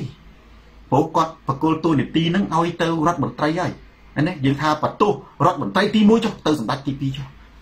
មុំមុនហេងខ្ញុំថាមុំមុនហេងនឹងគ្រូក្បាលឈួតទេដឹងហ៎មន្ទីរពេទ្យទាំងអស់ហ្នឹងប្រទេសកម្ពុជាលើពិភពលោកបច្ចុប្បន្នហ្នឹងប្រទេសកម្ពុជាមានជំងឺ Covid-1 ដែរមកមុនហេងមើលខ្ញុំសួរមើលមើលវឌ្ឍនកូនខ្មែរ មិនប្រុងសម្រាប់ខ្មែរចូលមកពូជតែមកនេះអីប្រុងសម្រាប់ខ្មែរមកពូជចោលហ្នឹងបំរើមហិច្ឆតាបរទេសដូចឆ្នាំ79ហ្នឹងយកជនជាតិយួនមកដាក់ពេញក្រោយឡើងបោះឆ្នោតប្រែคล้ายប្រទេសយួនប្រទេសកម្ពុជាទៅជាកម្ពុជាក្រោមទី2ហ្មងរមិចមកមុនហេងហើយលើខ្ញុំសួរស្រុកខ្មែរជំងឺថ្លើមវាបាត់ទៅណាលេងហើយតែជំងឺផ្ដាសាយបាត់តាណាលេងហ៎ម៉ែជំងឺអេដវាឈប់មានអញ្ចឹងមែនទេហើយជំងឺមហារីកវាឈប់មានណាជំងឺលើសឈាមវាឈប់មានណាហ៎ ជំងឺទឹកនោមផ្អែមវាឈប់មានណាហ៎ជំងឺកាពះឈប់មានណាជំងឺភ្នែកឈប់មានណាដុកទ័រភ្នែកដុកទ័រខាងច្រមុះដុកទ័រខាងត្រចៀកដុកទ័រខាងថ្មិញដុកទ័រខាងពងកដុកទ័រខាងតម្រង់នោមដុកទ័រខាងកាពះដុកទ័រខាងវះកាច់ដុកទ័រខាងខួរក្បាលដុកទ័រខាងផ្លើមដុកទ័រខាងម៉ារីកងាប់អស់លីងហើយខ្ញុំសុំមកមុនហេងនេះ អាម៉េចក៏បានជាអ្នកឯងទៅសម្លាប់ប្រជាជនខ្មែរទូទាំងនគរវាហួសហេតុពេកបងប្អូនខ្ញុំនៅស្រុកប្រាំងនេះគ្មានអាណាអាស្អីក៏កូវីដអាស្អីក៏កូវីដអាស្អីក៏កូវីដយូរយូរទៅជំងឺទាំងអស់កូវីដទាំងអស់វាដល់ថ្នាក់អានឹងសម្រាប់ប្រជាជនណាខ្ញុំនិយាយនេះគឺដើម្បីសុខភាពប្រជាជនគុំអាស្អីក៏កូវីដដែរ ចប់ហើយបងប្អូនខ្មែរណានឹងស្លាប់ដែលខ្ញុំតបទៅនឹងចាស់ចាស់ CPP ម្នាក់ស្រុកលេងអាយ៉ាចាស់ចាស់ CPP ម្នាក់នឹងឈុនចាំវិចិត្រគាត់ថាណែឯងកុំឈប់បានឈប់ទៅកំឡូឡានាំឲ្យខូចពូជខ្មែរខ្ញុំថាពូជខ្មែរមិនមែនជក់ស្ពៃទេវើយពូជខ្មែរជាមាសសុទ្ធអមតៈរហូតថែមនេះរលាយហ៊ុនសែននេះដែលចាត់ទុកពូជខ្មែរជាជ្រក់ស្ពៃហ្មងចឹង ជ្រក់ស្ពៃវាជូរផ្អូមខូចចឹងបានប្រញាប់លក់ប្រទេសយកលុយខ្ញុំអត់មានត្រូវការប្រញាប់អីទេនេះពូជខ្មែរណាបើសិនជាហ៊ុនសែនរបបហ៊ុនសែនណាវិស័យសុខាភិបាលអត់បែងចែកថាអាណាជំងឺកូវីដអាណាជំងឺថ្លើមអាណាជំងឺភ្នែកអាណាជំងឺច្រមុះអាណាជំងឺពងកអាណាជំងឺកាពះអាណាជំងឺពោះវៀនអាណាជំងឺត្រចៀកអាណាជំងឺមហារីកអាណាជំងឺលើសឈាមអាណាជំងឺលើសជាតិស្ករអាណាជំងឺ អីផ្សេងផ្សេងទេងាប់ខ្មែរបងប្អូនបើប្រជាជនកម្ពុជា នៅបិទមាត់ឲ្យហ៊ុនសែនធ្វើអញ្ចឹងទៀតខ្ញុំស្រឡាញ់ពាក្យនេះមួយនៅ New Hampshire រដ្ឋ New Hampshire សហរដ្ឋអាមេរិកនៅក្នុងរដ្ឋនោះកេះគីមឡុងគេមានពាក្យស្លោកប្រចាំរដ្ឋរបស់គេគេថា live free or die live free or die អ្នកនៅអាមេរិកប្រហែលជាអ្នកនៅ California ដែលទៅ New Hampshire គាត់ដឹងហ្នឹងប៉ុន្តែគេដឹងហើយប៉ុន្តែបើអ្នកនៅ New Hampshire អ្នកនៅ Lowell Low ណាអ្នកនៅនៅ Medford អ្នកនៅ Boston អីហ្នឹងអ្នកនៅ Massachusetts គេដឹងតែសូនថានិយាយត្រូវមកបុផានីខេននៅ New Hampshire នៅលើផ្លាកលេខឡានណាតុលាជឹមផ្លាកលេខឡាន គ្រប់ឡានទាំងអស់នៅរដ្ឋ New Hampshire គេដាក់ថា live free or die អានឹងបកជាភាសាខ្មែរមកថាចេះមែនទេចង់រស់នៅ ប្រកបដោយមានសេរីភាពត្រូវតែក្រោកឈរឬក៏ចង់រស់នៅឲ្យគេជន់សម្លាប់សុកចិត្តស្លាប់ឲ្យគេសម្លាប់ស្រែមសូត live free or die អានឹង បញ្យល់វាទៅវិញពាក្យន័យហ្នឹងន័យហ្នឹងចង់និយាយថាបើចង់បានសេរីភាពរស់នៅមិនត្រូវឲ្យគេជិះជាន់ស្លាប់ទេ ត្រូវក្រោកឈរប្រយុទ្ធពាក្យ live free or die ហ្នឹងគឺជាពាក្យប្រវត្តិវីរៈបុរសនៅរដ្ឋ New Hampshire ប្រាប់ពលរដ្ឋទាំងអស់ឲ្យក្រោកឈរប្រយុទ្ធគ្រប់គ្រប់គ្នា កុំឲ្យស្លាប់ដោយគេជន់ដោយរងចាំគេសម្លាប់អ៊ីសាយ៉ាណូកុំឲ្យចាំគេសម្លាប់ពាក្យហ្នឹងអត្តន័យហើយសូមតែបកខុសទេមិនត្រូវ100%អត្តន័យគឺវាអញ្ចឹងណាគឺគេប្រើនៅក្នុងការដែលឲ្យប្រជាជនក្រោកឈរទូទាំងរដ្ឋ New Hampshire ដើម្បីប្រយុទ្ធពីព្រោះដាក់ជំរឿថា new នេះ live free or die ប្រជាជនថា live free អើ live free មានរស់ដោយមានសេរីភាពបើចង់រស់ដោយមានសេរីភាព គឺមិនត្រូវរងចាំឲ្យគេសម្លាប់ទេអានេះខ្ញុំនិយាយទៅកាន់ម៉មប៊ុនហេងហើយខ្ញុំលើកឧទាហរណ៍ជាអក្សរសិល្ប៍ជាយោងបាទធម្មតាហ្នឹងមិនមិនដិតសែនក្បាលទឹកមិនមិនដិតនៃបឋមសិក្សានេះគេនិយាយគេមានយោងរបស់គេអានឹងយោងទៅលើណាប្រវត្តិវិទ្យាប្រវត្តិសាស្ត្រនៅ New Hampshire អ្នកនៅអាមេរិកគឺដឹងសូនថានិយាយទៅច្បាស់ជាពិសេសបើអ្នកនៅ New Hampshire ទៀតថាលោកគ្រូអត់ចាប់អារម្មណ៍ចឹងគឺចឹងមែនចឹងមែននេះក៏ដែរអត់ដែរមើលផ្លាកលេងឡានខ្លួនឯងណាណាគេនៅ New Hampshire ខ្លះនៅក្នុងនេះទៀតដែរមើលផ្លាកលេខឡានណាឬក៏មិនដែលនៅ New Hampshire ក៏ដោយជាពិសេសដល់នេះនៅ Lowell ញោមជាអ្នកដែលនៅព្រំដែនចុកលវែលគេអាសាទៅធ្វើការឬក៏ទៅគេទៅលេងប៊ូលគេទៅនៅវាយបាល់គេទៅទៅផ្សារខ្មែរទៅហាងខ្មែរឬហ្នឹងឲ្យតែឃើញ live free or die អាហ្នឹងមកពី New Hampshire នៅសហរដ្ឋអាមេរិកអាជូមួយបងប្អូនខ្ញុំដាក់នេះណាថាខ្ញុំសុំទៅចោះខ្ញុំសុំថាសម្ដេចមើលមន្ទីរពេទ្យខ្មែរយើងផង ទាត់អ្នកជំងឺចោលលោះហើយសច្ចៈលោកីមិនត្រូវសម្រាប់ខ្មែរយើងទេជំងឺវាមិនមែនមានតែកូវីដមួយទេវាមានគ្រប់ពាន់មេរោគនៅក្នុងប្រទេសកម្ពុជាប៉ែតត្រូវបែងចែកឲ្យច្បាស់ខ្មែរកាហ្វេកុំអាស្អីក៏កូវីដដល់តែពេលអាស្អីក៏កូវីដបងប្អូនធ្វើមិនទេ វាធ្វើត្រឡប់ទៅវិញដូចខ្ញុំថាអញ្ចឹងសរុបធ្វើឲ្យខួរក្បាលខ្មែរគោខួរក្បាលខ្មែរគោនឹងដោយសារអីទេថ្ងៃនេះខ្ញុំឆ្លើយសារជាមួយប្រិយមិត្តម្នាក់គាត់ជាស្ថាបត្យករបាទនេះគាត់ជាស្ថាបត្យករអានឹងគាត់បានប្រាប់ខ្ញុំអំពីអំពើពុករលួយធ្វើស្រែលើខ្នងកូវីដលើខ្នងរេបច្ចុប្បន្នណាបងប្អូនអាកូវីដហ្នឹងអាអ្នករងគ្រោះរងគ្រោះតតងាប់ហ្មងងាប់ជួនកាលគ្រួសារបែកបាក់ប្រត់ប្រាស់ក៏យកឪពុកក៏យកម្ដាយក៏យកកូនទៅដុតអត់ឲ្យឃើញក៏អាគេទៅដុតបាត់ទៅយំដេកសោកក៏យកទៅឃុំខ្លួនអត់ឲ្យបាយស៊ីអញ្ចឹងទៅ ឥឡូវវាចូលដល់ប៉ុលពតណាអាចប់តាលេសាក់លើកមុនហ្នឹងណាគេធ្វើសម្ដែងណាគេយកនេះកាលពីនៃក្រមគ្រូសាអាណាចក្រចំនួនរ៉ូស៊ីចតាលេសាក់គេយកចិត្តទុកដាក់រឿងចតាលេសាក់ណាចតាលេសាក់ហ្នឹងគេមានមហូបគេមានអីដល់តែពេលគេដឹងថាអូអាហ្នឹងគេលែងកើតទៅចតាលេសាក់ហ្នឹងជាមុខចំនួនរបស់ក្រមគ្រូសាអាណាចក្រចំនួនទេគេក៏ធ្វើចតាលេសាក់ធម្មតាគេយកសាលារៀនដែលមានលក្ខណៈដូចគុកទួស្លែងគេយកមណ្ឌលគេយកវត្តអារាមនេះធ្វើទៅណា សវណ្ណរាជដល់ពេលចឹងគេលែងយកចិត្តទុកដាក់លែងយកចិត្តទុកដាក់បច្ចុប្បន្ននេះយកមនុស្សទៅបោះចោលបងដល់តែពេលយកមនុស្សទៅបោះចោលណាចតាលិស័កហ្នឹងវាមិនមែនយកមនុស្សទៅឲ្យឃ្លាតឆ្ងាយដើម្បីការពាររោគទេគឺយកមនុស្សទៅសម្លាប់ចោលទៅចម្លងរោគមកម៉េចហាមកបើនឹងរោគកើតដោយសារអីនៅក្នុងកូវីដវាវ័យបហាសម្រាប់មនុស្ស3ប្រភេទធំធំ ទី1ចាស់ជរាទី2មនុស្សមានរោគប្រចាំកាយអែមខិន ទី3មនុស្សដែលមានដែលធាត់បងប្អូនទៅមើលអានេះវាជាសាសមិនជាការយល់ឃើញមនុស្សយើងបើសិនជាហ៊ុនសែនយកទៅដាក់ចាត់តាលិសាមិនឲ្យបាយស៊ីមនុស្សស៊ីអត់គ្រប់គ្រាន់យើងនិយាយពាក្យចឹងពាក្យស៊ីនឹងគឺជាពាក្យដែលយើងតេះដៀលយើងថាហូបមិនគ្រប់គ្រាន់ពិសាមិនគ្រប់គ្រាន់សុខភាពខ្សោយសុខភាពខ្សោយបើអ្នកខ្លះមានជំងឺតិចតួចប្រចាំកាយវាទៅឈឺវាទៅជាឈឺណា មេរោគនឹងវាចូលទៅសម្លាប់ដល់សម្លាប់ទៅអាស្អីកូវីដទេបញ្ហាបច្ចុប្បន្នណា គឺវាអញ្ចឹងឯងដល់ទៅពេលអញ្ចឹងវាកើតទៅជាមានបច្ចុប្បន្នមានអំពើពុករលួយនៅលើនឹងលេណាយកបាទទេអំពើពុករលួយទៅលើកូវីដអ្នកខ្លះគេមានលុយបាំងទៅអាអ្នកកូវីដមិនមែនកូវីដយកបនសពធ្វើធម្មតាទៅអ្នកដែលគ្នាអត់មានលុយបាំងអញ្ចឹងទៅនេះអាមិនមែនកូវីដផងថាកូវីដយកសពទៅចាប់មកគ្រូសាអាគ្រូសាឪពុកទៅផ្សេងទៅម៉ែទៅផ្សេងទៅមិនដឹងជាឆ្អឹងមិនដឹងជាធាតនៅណាយកទៅដុតចោលនៅឯណានោះនៅភ្នំអរ៉ាល់យកដុតចោលនៅខេត្តតាកែវបាត់អាលីងណាមីស្ទ័រប៉ាពី តែកន្លែងហ្នឹងបងប្អូនមានប្រិយមិត្តម្នាក់ដែលគាត់ជាស្ថាបត្យករគាត់ចាស់ហើយគាត់តែគាត់មិនមែនចាក់ CPP ទេគាត់ថាគាត់ស្ថាបត្យករតាំងខ្ញុំបឋមសិក្សានោះមែនទេគាត់ថាមានអំពើពុករលួយខ្លាំងណាស់នេះរឿងដែលគាត់ឃើញជាក់ស្ដែងតែម្ដងនៅធម្មតាអ្វីដែលសូនរាននិយាយនេះសិតតែបងប្អូនឃើញហ្នឹងជីស៊ីដល់តែពេលអញ្ចឹងណាបងប្អូន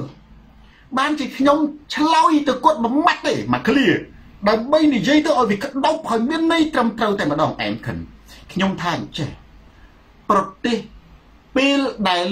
មេដឹកនាំខួរក្បាលច្របោកច្របល់វណ្ណាកាត់ដេប្រទេសច្របោកច្របល់អានឹងចាំមើលណាហេតុអីបានជាប្រទេសកម្ពុជាបច្ចុប្បន្នមន្ទីរពេទ្យទួតចោលអ្នកជំងឺ អាជំងឺអីក៏អាកូវីដអាឈឺអីក៏អាកូវីដ ដល់តែពេលអាឈឺអីក៏អាកូវីដកតាខ្ញុំនិយាយ3 4ចំណុចទី1ដល់តែពេលអាឈឺអីក៏អាកូវីដពេទ្យទាំងអស់អត់ទទួលមែនទេងាប់តាមផ្លូវកកោកមួយទី2ដល់តែពេលអាស្អីក៏អាកូវីដវាធ្វើឲ្យមនុស្សឆ្អត់ស្រួលខ្លួនមនុស្សឈឺពោះមនុស្សរាករាកមានតាំងពីដើមមកទៅគាត់ឈឺពោះផ្ដាសាយវាអត់ហ៊ានទៅពេទ្យ វាសង្ងំនៅផ្ទះរហូតមានអ្នកខ្លះឈឺស្រាប់ទៅរហូតមានអ្នកខ្លះនេះត្រូវក្អកអីតិចតួចត្រូវដេកអត់លក់អ្នកខ្លះឈឺដៃអត់ហ៊ានទៅពេទ្យទេបងព្រោះបើកណាទៅពេទ្យពេទ្យវាចាប់ទៅធ្វើតេស្តវាយកទៅឃុំខ្លួនដល់តែពេលអញ្ចឹងវាទៅជាវិលបងប្អូនប្រទេសកម្ពុជាអាអ្នកឈឺពេទ្យទាត់ចោលអត់ទទួលហង្ហារតីឯចំណែកអ្វីក៏កូវីដអាអ្នកឈឺល្មមល្មម អត់ហ៊ានទៅពេទ្យព្រោះខ្លាចគេថាកូវីដយកទៅគុំខ្លួនយកទៅគុំខ្លួនមិនបងប្អូនបើតែនឹងចាពាក់ធនាគារផងចាពាក់ស្អីផងគ្នារកស៊ីនៅផ្សារបើយកគ្រួសារនឹងមួយជួនកាលគ្នាម៉ណែនេះគ្នាខ្ទាស់តសៃលេងបាល់ទាំងគ្នាខ្ទាស់តសៃលេងបាល់ទាំងទ្រាំបានមកទេធ្លាក់មកផ្លាត់តសៃជាប់ចង្កេះដើររួចទៅពេទ្យបែបថាកូវីដជាប់តសៃជាប់តសៃទៅហ្នឹងពេទ្យថាកូវីដ ដល់តែពេទ្យថាកូវីដទៅខៅសវណ្ណតែមិនទេកូនគាត់ប្រពន្ធគាត់លក់ចាប់ហួយនៅផ្សារមែនទេអាគាត់ដែលរត់តុកតុកកូនគាត់នៅរៀនយាយគាត់តាគាត់ណាគេចាប់បាក់ផ្ទះយកទៅឃុំខ្លួនទាំងអស់ដល់តែឃុំខ្លួនអត់មានអីឲ្យហូបជួតកាលណាវេទនាហ្នឹងណាវ៉ានី QB បានជាខ្ញុំឲ្យប្រជាជននឹងស្គាល់បញ្ញារបស់ហ៊ុនសែន អានឹងហើយប្រជាជនត្រូវដឹងណាតាមរយៈទូរទស្សន៍សូនរ៉ាហ្នឹង Hana Lavender បញ្ញាខួរក្បាលហ៊ុនសែនវិលក្បងអត់មានបញ្ញាគ្រប់គ្រាន់សម្រាប់ដឹកនាំប្រទេសទេហ៊ុនសែនដឹកនាំប្រទេសកន្លងមកហ្នឹងដោយសារតែប្រជាជនយើងវាអត់ដឹងហើយចេះតែធ្វើតាមអំណោយអំណោយអាលុយយកយកលុយជាតិណាលុយភូងទៅធ្វើអំណោយដាក់ឈ្មោះហ៊ុនសែនដល់តែពេលប្រទេសមានបញ្ហាបច្ចេកទេសត្រូវការអ្នកឆ្លាតត្រូវការអ្នកមានយុទ្ធសាស្ត្រ បច្ចេកទេសដឹកនាំមើលទៅហ៊ុនសែនអែកអែកបងប្អូនក៏ថោជាគ្នា គឺថាវិលក្បងហើយឥឡូវនេះអញ្ចឹងបានខ្ញុំឆ្លោយទៅបងប្រុសម្នាក់ខ្ញុំហៅលោកពូលោកអ៊ំខ្ញុំមិនដឹងទេបើគាត់ថាគាត់នេះហើយមានន័យថាបើកាលណាប្រទេសច្បោកច្បល់គឺខួរក្បាលហ៊ុនសែនកំពុងតែច្បោកច្បល់ហើយនៅពេលដែលហួខួរក្បាលកំពុងច្បោកច្បល់ខ្មែរយើងគេប្រៀបធៀបទៅនឹងតម្រៃចុះព្រីងឬស្កាយស្គូត គឺវាគិតតែពីរត់តែវាគិតពីស្រ័យតែវាគិតតែពីខាងមកស្អីមនុស្សនៅពេលណាដែលមេដឹកនាំនឹងវាទៅជាខួរក្បាលវល់ហ្នឹងបងខ្ញុំនិយាយទូទៅអសម្ដៅលោកសែននៅប្រទេសមួយដែលមានមេដឹកនាំខួរក្បាលវល់ច្បុកច្បល់ណាគេធៀបទៅនឹងឆ្កែឆ្កួតបើពេលណានគរមួយមេដឹកនាំមានឆ្កែឆ្កួតមនុស្សលែងរវល់រស់ស៊ីហើយលុនសូភារវល់តែកិច្ចតែពីឆ្កែខំហ្នឹង ខ្ញុំនិយាយចឹងបងប្អូនថាខ្ញុំមិនឯកភាពមិនឯកភាពម៉េចហាងកាទៀវមួយកំពុងហូបកាទៀវទៅបើលែងគេថាឆ្កែឆ្កួតចូលចូលលៀនដាច់ខឹកខឹកខឹកខំបោករត់ពេញហាងឥឡូវនេះប្រទេសមួយបើកាលណាមេដឹកនាំជាឆ្កែឆ្កួតហើយនគរមួយខ្ញុំនិយាយអត់ដល់លឿនសែនទូទៅពេលនោះប្រជាជនណាវាវល់ហើយមកប្រទេសបើហាងកាទៀវវិញបើថាឆ្កែឆ្កួតចូលទម្លាក់ចានរត់ខ្ទេចអូសោះ ចិត្តជលសារត់ខ្ទេចតែមកអញ្ចឹងខ្ញុំចេះខ្ញុំសុំវិញទេ ក្នុងនាមជាកូនខ្មែរម្នាក់ពូវីស៊ីមរៀបសម្ដេចមិនមែនមេរោគទាំងអស់សុទ្ធតែកូវីដទេណែបើសម្ដេចអត់វិលក្បងណាជួយមើលមកបន្ហែងផងប្រជាជនខ្មែរងាប់ដោយសារសម្ដេចហ่ะត្បិតតែសម្ដេចអត់សម្លាប់ដោយផ្ទាល់ទេប៉ុន្តែអាវិធានការបើនៅស្រុកបារាំងគេដឹងណាសម្ដេចនៅស្រុកបារាំងស្រុកអាមេរិកវិធានការរបស់សម្ដេចហ្នឹងប្រជាជនប្តឹងណា ព្រោះអ្នកឯងឲ្យម៉ែឪគេងាប់ឲ្យកូនចៅគេងាប់ដោយសារវិធានការរបស់រដ្ឋណាអ្នកដាវីតគឺរដ្ឋទទួលខុសត្រូវណាអញ្ចឹងអត់បានទេវិធានការដើម្បីការពារជីវិតមនុស្សត្រូវមានប្រព័ន្ធរៀបចំបច្ចេកទេសហៅអ្នកជំនាញរៀបចំឲ្យត្រឹមត្រូវអូនខាន់អត់មានអាស្អីក៏កូវីដទេ មែនទេហើយដោយសារស្អីក៏កូវីដទេសម្ដេចដឹងទេមានមនុស្សជាច្រើននៅក្នុងប្រទេសកម្ពុជាបច្ចុប្បន្នភ័យរហូតដល់ទៅពេលឈឺអីអត់ហ៊ានទៅពេទ្យទេខ្លាចគេថាកូវីដរហូតកម្មករនៅនៅប៉ោយប៉ែតទេមិនមែនប៉ោយប៉ែតទេស្អីទេបវត្តបងប្អូនមានចាំបាននេះអត់សុខាហេតុអីបានជាកម្មបកនៅបវត្តណារត់ទម្លុះជាងបាច់ប្រសាច់ចេញមកអត់ស្ដាប់អញ្ញាធរទេដោយសារមនុស្សគេខ្លាចពេទ្យ គេខ្លាចពេលដែលចាប់គេទៅយកទៅគេទៅឃុំខ្លួនដែលអត់ឲ្យបាយស៊ីមនុស្សបច្ចុប្បន្នណាខ្លាចតារឿងអត់ស្អីផងគេចាប់យកទៅធ្វើកូវីដអញ្ចឹងបានជាអ្នកភូមិអ្នកស្រុកឈឺអត់ហ៊ានទៅពេទ្យខ្លាចគេថាកូវីដអាអានឹងអញ្ចឹងឈឺចង្កេះអត់ហ៊ានទៅពេទ្យខ្លាចគេថាកូវីដកម្មករគ្រាន់តែគេថាទៅធ្វើតេស្តសុកចិត្តរត់ចោលខ្លាចគេថាកូវីដយកគ្នាទៅឃុំអានឹងណាគួរតែពិចារណាឡើងវិញទៅ បើមិនអញ្ចឹងទេ សម្ដេចវិលក្បងហើយបញ្ជាក់ថាអ្វីដែលសូនតារានិយាយនេះគឺគ្មានខុសទេនៅសល់តែមួយជំហានទៀតតែប៉ុណ្ណោះសម្ដេចធ្លាក់ជ្រោះនយោបាយហើយធ្លាក់ជ្រោះហើយកុំជឿសម្ដេចជឿសូនតារាបងប្អូនចាប់ពីថ្ងៃនេះតទៅអ្នកងឿតថ្ងៃនេះបើកាលណាអ្នកណានិយាយអីណាក្រោយពីមើលទូរទស្សន៍សូនតារាដាក់សំណួរហ្នឹងជឿសូនតារាឬជឿហ៊ុនសែន ជឿហ៊ុនសែនកាវ៉ាសាកកាវ៉ាសាគីឡាឬជឿណេសូនតារាតែប៉ុណ្ណឹងអញ្ចឹងអាកន្លែងនេះខ្ញុំសូមទាញទៅប្រធានបទទី2ដូចតទៅណាចិត្តខែមកព្រោះប្រធានបទទី2ដូចខ្ញុំបានលើកឡើងកណ្ដាលវាអមវាភ្ជាប់ទៅនឹងចូលដល់ចិនកូវីដម្សិលមិញខ្ញុំបាននិយាយម្ដងរឿងមហាមិត្តចិន14លានអ្នក1400លានអ្នក កើត90000អ្នកទេយើងថាអញ្ចេះសំណួរមួយដែល logic សំណួរមួយដែល logic គឺថាចិនចាំបាច់អីជួយតែវ៉ាក់សាំងមកហ៊ុនសែនអាម៉េចក៏មិនជួយបច្ចេកទេសធ្វើយ៉ាងណាកុំឲ្យកម្ពុជាឆ្លងនឹងស្លាប់ច្រើនដូចចិនជួយវ៉ាក់សាំង វាជារឿងតូចមួយទេបងប្អូនបើចិនពិតជាអ្នកមានស្នាដៃនៅក្នុងការបង្ក្រាបកូវីដបច្ចុប្បន្នតួលេខចិនណាគឺថយចុះឬក៏ស្ទើរតែអត់មានកើតតែម្ដងហើយប្រជាជន1400លាននាក់កើតតែ90000នាក់ទេគួរឲ្យអស់សំណោចណាស់គួរអស់សំណោចចាប៉ុន្តែឥឡូវដែលយើងនិយាយថាបើចិនពិតជាពូកែមែនកុំឲ្យតែវ៉ាក់សាំងឲ្យបច្ចេកទេសផងហើយហ៊ុនសែន គួរតែទៅរៀនពីចិនផងថាតើត្រូវធ្វើដូចម្ដេចដើម្បីកុំឲ្យអាអាកម្មនឹងរីករាលដាលពេកប៉ុន្តែអត់អាអត់ហ្នឹងហើយបានជានៅក្នុងប្រធានបទដែលខ្ញុំភ្ជាប់ទៅក្នុងប្រធានបទទី1នៅក្នុងប្រធានបទទី2នេះភ័ក្រកំពុងស្ពឺថាតើចិនបង្កើតថ្នាំបន្សាប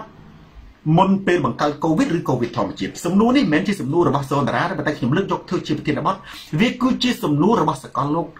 អង្គការសុខភាពពិភពលោកឬក៏សហរដ្ឋអាមេរិកអឺរ៉ុបបច្ចុប្បន្នសហរដ្ឋអាមេរិកនិងអឺរ៉ុបបច្ចុប្បន្នហ្នឹងណាឈឿនឆាតគឺគេកំពុងតែពិចារណាសង្ស័យថា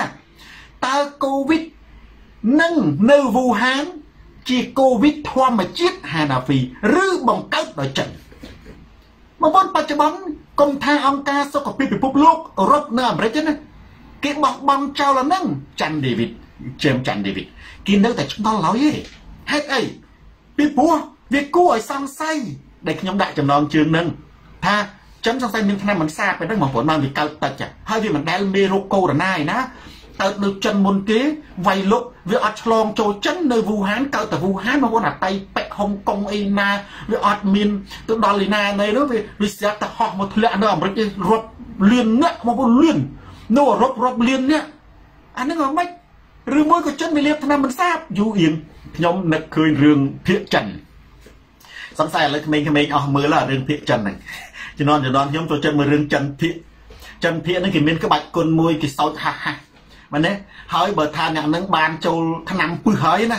គេបំរើគេឲ្យទៅធ្វើអីធ្វើហ្នឹងមិនដើម្បីចង់បានឆ្នាំបន្សាបមួយគ្រាប់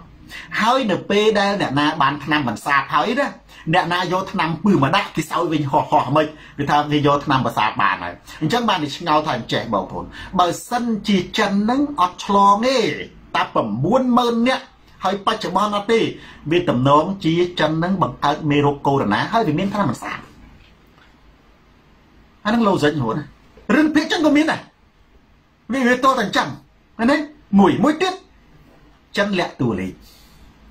បើសិនជាចិនលាក់តួលេខ អានឹងវាបញ្ជាក់ឲ្យឃើញថា នៅក្នុងប្រទេសកម្ពុជាក៏អាចលាក់នឹងមិនលាក់ដែរមានន័យថាម៉េចចិនចំនួនវាច្រើនឬក៏តិចស្រេចតែវាថាដូចគ្នាប្រទេសកម្ពុជាបច្ចុប្បន្នជាហៅតា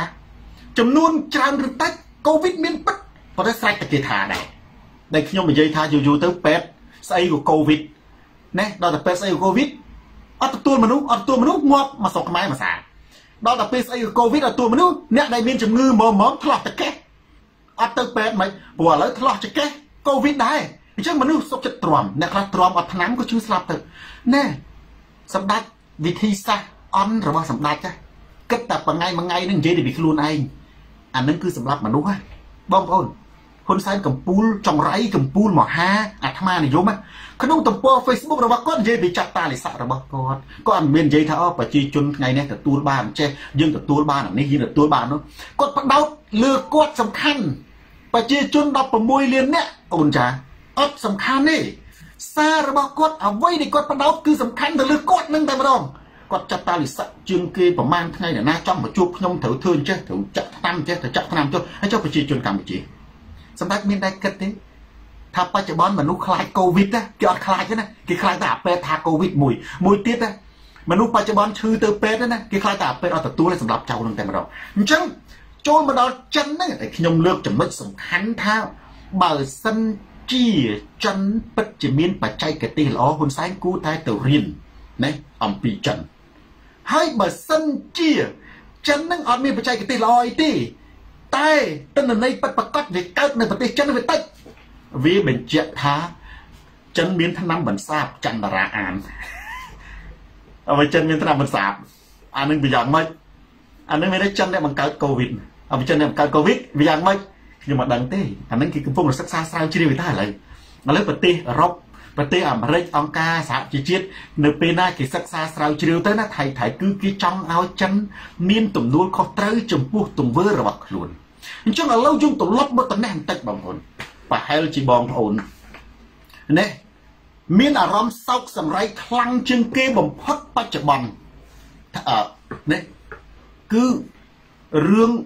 បច្ចេកទេសដែលហ៊ុនសែនបានរៀបចំ ដោយដែលខ្ញុំបានលើកឡើងអញ្ចឹងបច្ចេកទេសបានហ៊ុនសែនរៀបចំហ្នឹងគឺតំណងជាមានតែហ៊ុនសែនទេ ដឹងច្បាស់តួលេខពិតប្រាកដទើបជាហ៊ុនសែននិយាយអំពីក្តារមេឈូពីព្រោះរឿងកូវីដហ៊ុនសែនចាត់ទុកជារឿងសន្តិសុខសង្គមសន្តិសុខជាតិអញ្ចឹងរាល់របាយការណ៍កូវីដមកប៊ុនហេងត្រូវប្រាប់ហ៊ុនសែនប្រាប់ហ៊ុនសែនជួនកាលហ៊ុនសែនថាប៉ុណ្ណេះ វាអត់អាចប្រព័ន្ធនោះទេអត្រានៃការស្លាប់ប៉ុណ្ណាក៏ដោយ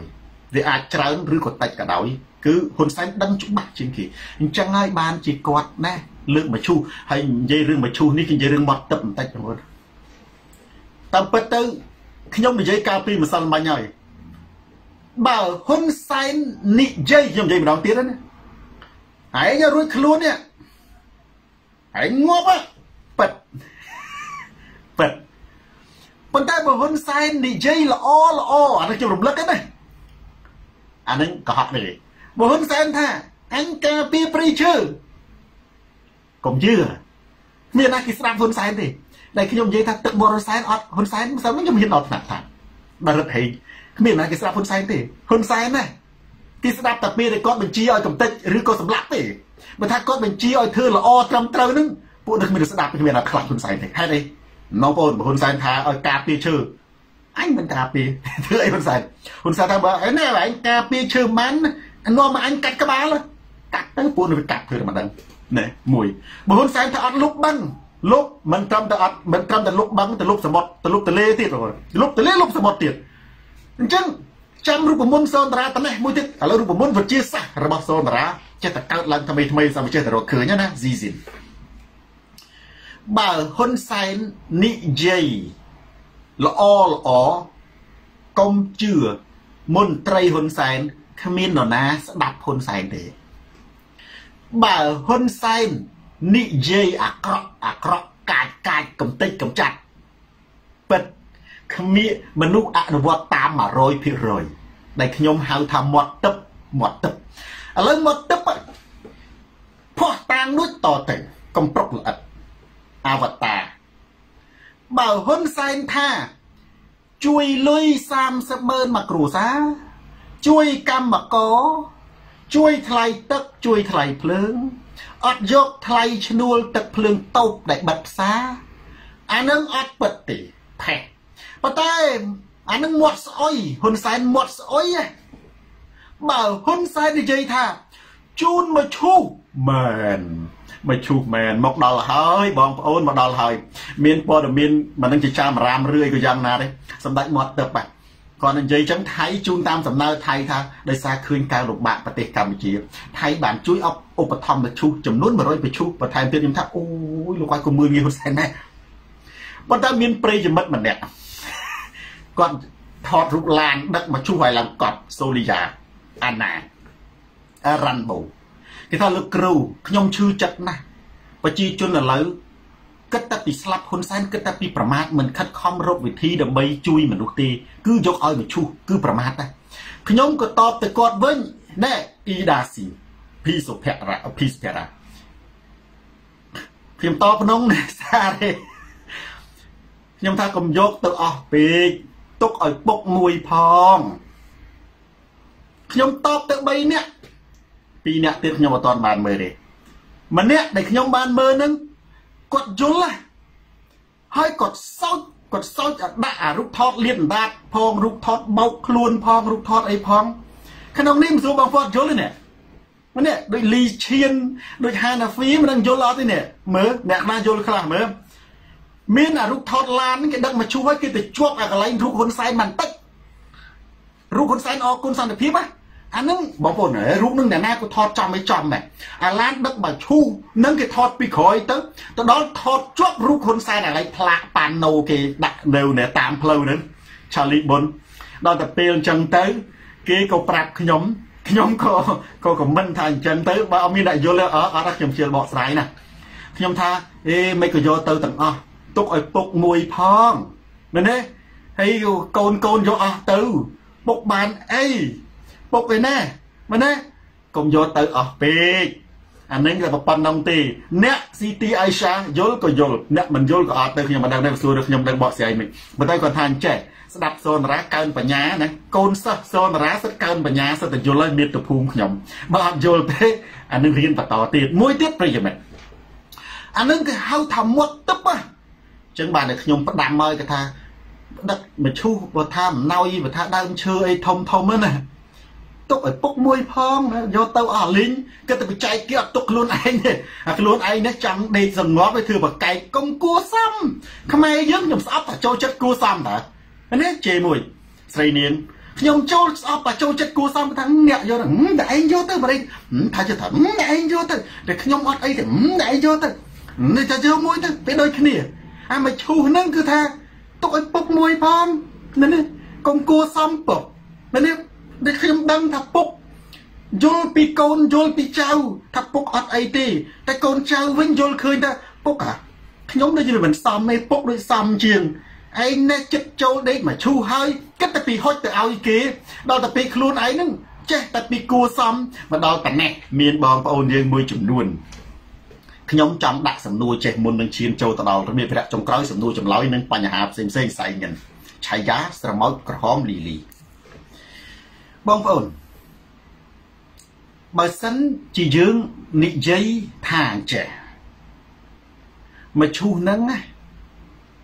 មិនគួរយកទៅចែកប្រជាជនទេគួរយកទៅចែកឲ្យហ៊ុនសែននិងក្រុមគ្រួសារល្អជាង ដើម្បីដើរតួជាគំរូកូនអ្នកស្រែបើសិនជាយើងនិយាយអញ្ចឹងណា គណៈបកប្រជាជនគេច្បាស់ជាដើរតួធ្វើជាអធិមត្រូវអាល្អអយុត្តិធម៌នេះអសុជីវធម៌គេថាឯងប្រមាថប៉ុន្តែភ្លេចគិតថាតើហ៊ុនសែនប្រមាថអាយុជីវិតប្រជាជនខ្មែរទូទាំងនគរនេះដូចជាសំបឆាដុតខ្មោចចាយ៉ាគឹមដូចជាជូនមកឈូសហើយគ្រាន់តែអនុសាសន៍ហ៊ុនសែនភ្លាមមកឈូសដឹកកក្រឹកកក្រែងទៅបនកឋិនដើម្បីឆ្លោយតបទៅនឹងអនុសាសន៍ដ៏ខ្ពង់ខ្ពស់របស់សម្ដេច បងប្អូនចឹងបានទីខ្ញុំថានឹងជាការប្រមាថអាយុជីវិតខ្មែរទូទាំងនគរដាក់ទំនាយខ្មែរងាប់ហ៎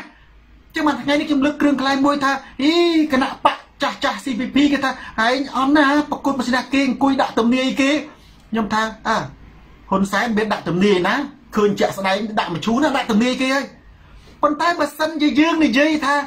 នេះយើងគួរដើម្បីកសលផលបុណ្យយើងតបស្នងសម្ដេចព្រោះសម្ដេចគិតគូរអំពីសុខទុក្ខប្រជាពលរដ្ឋណាដូច្នេះប្រជាជនសូមគិតគូរពីសុខទុក្ខសម្ដេចនិងក្រុមគ្រួសារវិញ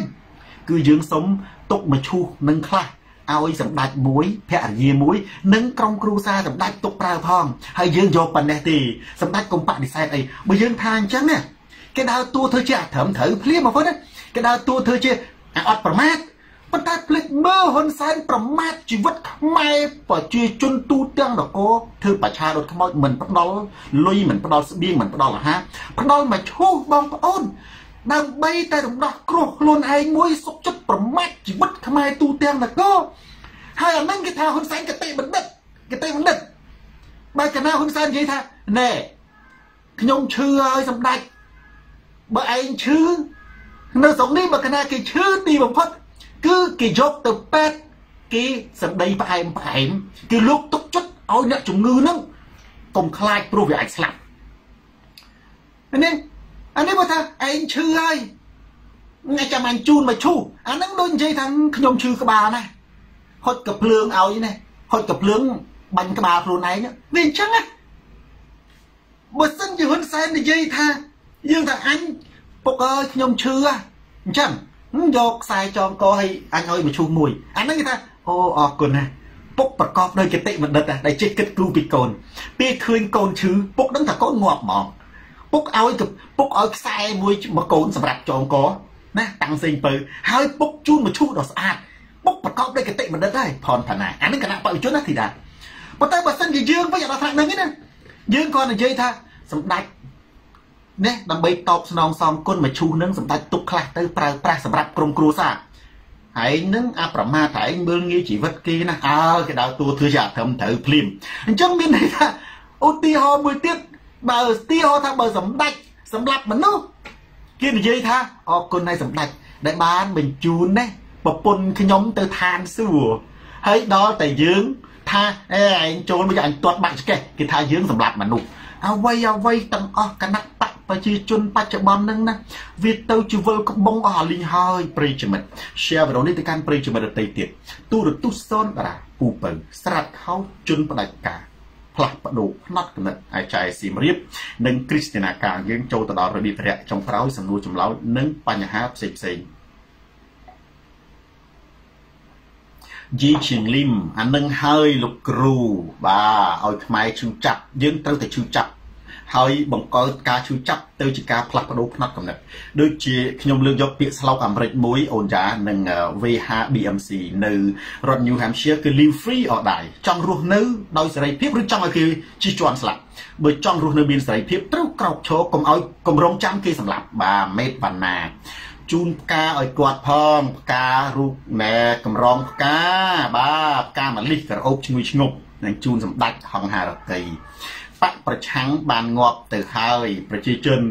ណែនៅទិញដដែលដដែលបកប្រឆាំងងាប់រឿងអីមើលខ្មោចឃើញខ្ញុំធ្លាប់និយាយច្រើនដងហើយម្នេះបើគណៈបកប្រជាជនមើលខ្មោចឃើញមានគណៈបកប្រជាជននឹងឆ្កែឆ្កែវាស៊ីអាស័យនោះតាមរឿងព្រេងខ្មែររ៉ាអ៊ុំចុះបើសិនគណៈបព្វជិជននឹងមិនមែនឆ្កែអានឹងមនុស្សឈួតមនុស្សឈួតបែកថ្នាំ ណាចៅសំណាងបែកថ្នាំវាចាប់ផ្កាយលើមេឃវាថាផ្កាយនៅលើមេឃក្នុងដៃវាអញ្ចឹងគណៈបកប្រជាជនបច្ចុប្បន្ននេះណាបើគណៈបកសង្គ្រោះជាតិងាប់ហើយគឺមានតែពីរទេគណៈបកប្រជាជនបើមិនឈួតគឺឆ្កែបាទអមច័ន្ទសរឹមអាអេងវណ្ណរាបើស្បៀងដូចមិនសម្បូរសោះបាទចែកស្បៀងដូចយឺតនោះយឺតសិតតែឌៀមដាមមួយគ្នាដល់តែចែកមកឈូសលឿននោះលឿន ជូនតាមសំណើមានអាអ្នកដឹកឲ្យថតដើម្បីបញ្ជោសម្ដេចថាសម្ដេចមិនសម្ដេចមាត់ទឹកណែយមវុធថាគ្រាន់តែសម្ដេចថាភ្លាមណាសម្ដេចឃើញណាតង្ហែនេះបុណ្យកឋិនហ្នឹងសម្ដេចអង្គុយកាត់ដាច់អូអនុសាសន៍អញពិតជាខ្លាំងមែនតែរូបមន្តសូនរាថ្មីចូលទៀតណាបើហ៊ុនសែននិយាយល្អល្អកុំជឿបើហ៊ុនសែននិយាយល្អល្អថាជួយនេះ ថាសង្គ្រោះកុំជឿបើហ៊ុនសែននិយាយអាក្រក់អាក្រក់ថាកំតិចនឹងសម្លាប់គឺមាត់ទៅហើយបើហ៊ុនសែននិយាយថាឲ្យលុយ30ម៉ឺនផេះកុំជឿបើហ៊ុនសែននិយាយថាឲ្យមកឈូសមកឈូសដឹកមួយហែកឋិនមែនបាទកំឡោះគៀនស្វាយអមនិយាយពុលទឹកមាត់ខ្លួនឯងហើយវើយបាទពុលទឹកមាត់អឺ សូនតារានេះគឺវាដល់ថ្នាក់ដូចសម្ដេចទេមិនខ្ញុំធ្លាប់និយាយច្រើនដងដែរខ្ញុំចង់បកស្រាយអីច្រើននេះសុធិរាឈឹមសូនតារានេះបាន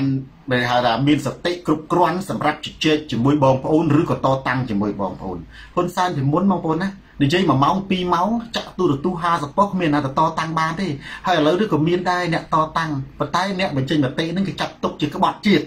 បច្ចុប្បន្នហ្នឹងហ៊ុនសែននិយាយណែដូចខ្ញុំត្រឡប់ទៅវិញណា ត្រឡប់ទៅរឿងថានគរមួយខ្ញុំអត់សំដៅលើហ៊ុនសែននិយាយទូទៅតែន័យធៀបថាចេះនគរមួយដែលមានមេដឹកនាំខួរក្បាលវិលក្បងណាប្រទេសហ្នឹងគឺវិលក្បងមកហើយនគរមួយដែលមានមេដឹកនាំខួរក្បាលវិលក្បងគឺចាប់ទុកមេដឹកនាំជាឆ្កែស្គូតហើយបើកាណាឆ្កែស្គូតទៅយូរយូរមនុស្សវិលក្បងភ័យខ្លាចឆ្កែខាំលែងគិតអំពីសុកទុកហ្នឹង ដែលខ្ញុំប្រៀបធៀបថាបើមិនជឿខ្ញុំទេហាងកាទៀវមួយមហូបកំពុងតែឆ្ងាញ់ក៏ដោយប្រឡែងទៅស្កែស្គួតចូលមករត់បែកចោលមហូបអស់អាលីងអញ្ចឹងប្រទេសកម្ពុជាបច្ចុប្បន្ននេះណាអ្នកដែលពុលពិតប្រកបគឺប្រជាជនហើយអ្នកដែលពុលពិតប្រកបទៅណាគឺហ៊ុនសែនដែលបំពុលធ្វើប្រជាជនពុលហើយមិនថាចឹងបងប្អូនឥឡូវចូលលើកយកបង្ហាញថាមកបង្ហាញណាអូនថាអ្វីដែលសូនតារានិយាយនឹងខុសនារីរដ្ឋសុជាតិហេតុអីបងប្អូនបច្ចុប្បន្នប្រទេសកម្ពុជាពេទ្យអត់ទទួលមនុស្សទេណា ដោយសារគេគិតថាកូវីដដល់ចឹងទៅអាឆ្លោះចង្កេះក៏កូវីដដែរដល់តែពេលអ្វីអ្វីទាំងអស់គឺកូវីដដល់ពេលអញ្ចឹងមនុស្សឈឺអត់ហ៊ានទៅពេទ្យទេបើហ៊ានទៅពេទ្យមនុស្សស្លាប់អានេះគិតថាកូវីដមិនហ៊ានទៅពេទ្យអានេះទៅពេទ្យពេទ្យអត់ទទួលប្រទេសកម្ពុជានោះវល់ហើយយកគ្នាទៅចាត់តាលិស័កដាក់ក្នុងសាលារៀនអត់ឲ្យបាយហូបអត់ឲ្យអីទេអាអ្នកជាវាទៅជាឈឺអាអ្នកឈឺនោះវាទៅជាងាប់បាត់មកបច្ចុប្បន្នណា អ្នកដែលពុលអ្នកដែលវល់លេងសុធារី គឺប្រជាជនកម្ពុជា ហើយយើងជាកញ្ចក់ឆ្លុះបញ្ចាំងវិញនឹកឈឹមអ្នកដែលពុលសម្រាប់គ្រូហើយអ្នកដែលវល់វាដោយសារតែហ៊ុនសែនពុលហ៊ុនសែនវល់ពេលដែលហ៊ុនសែនពុល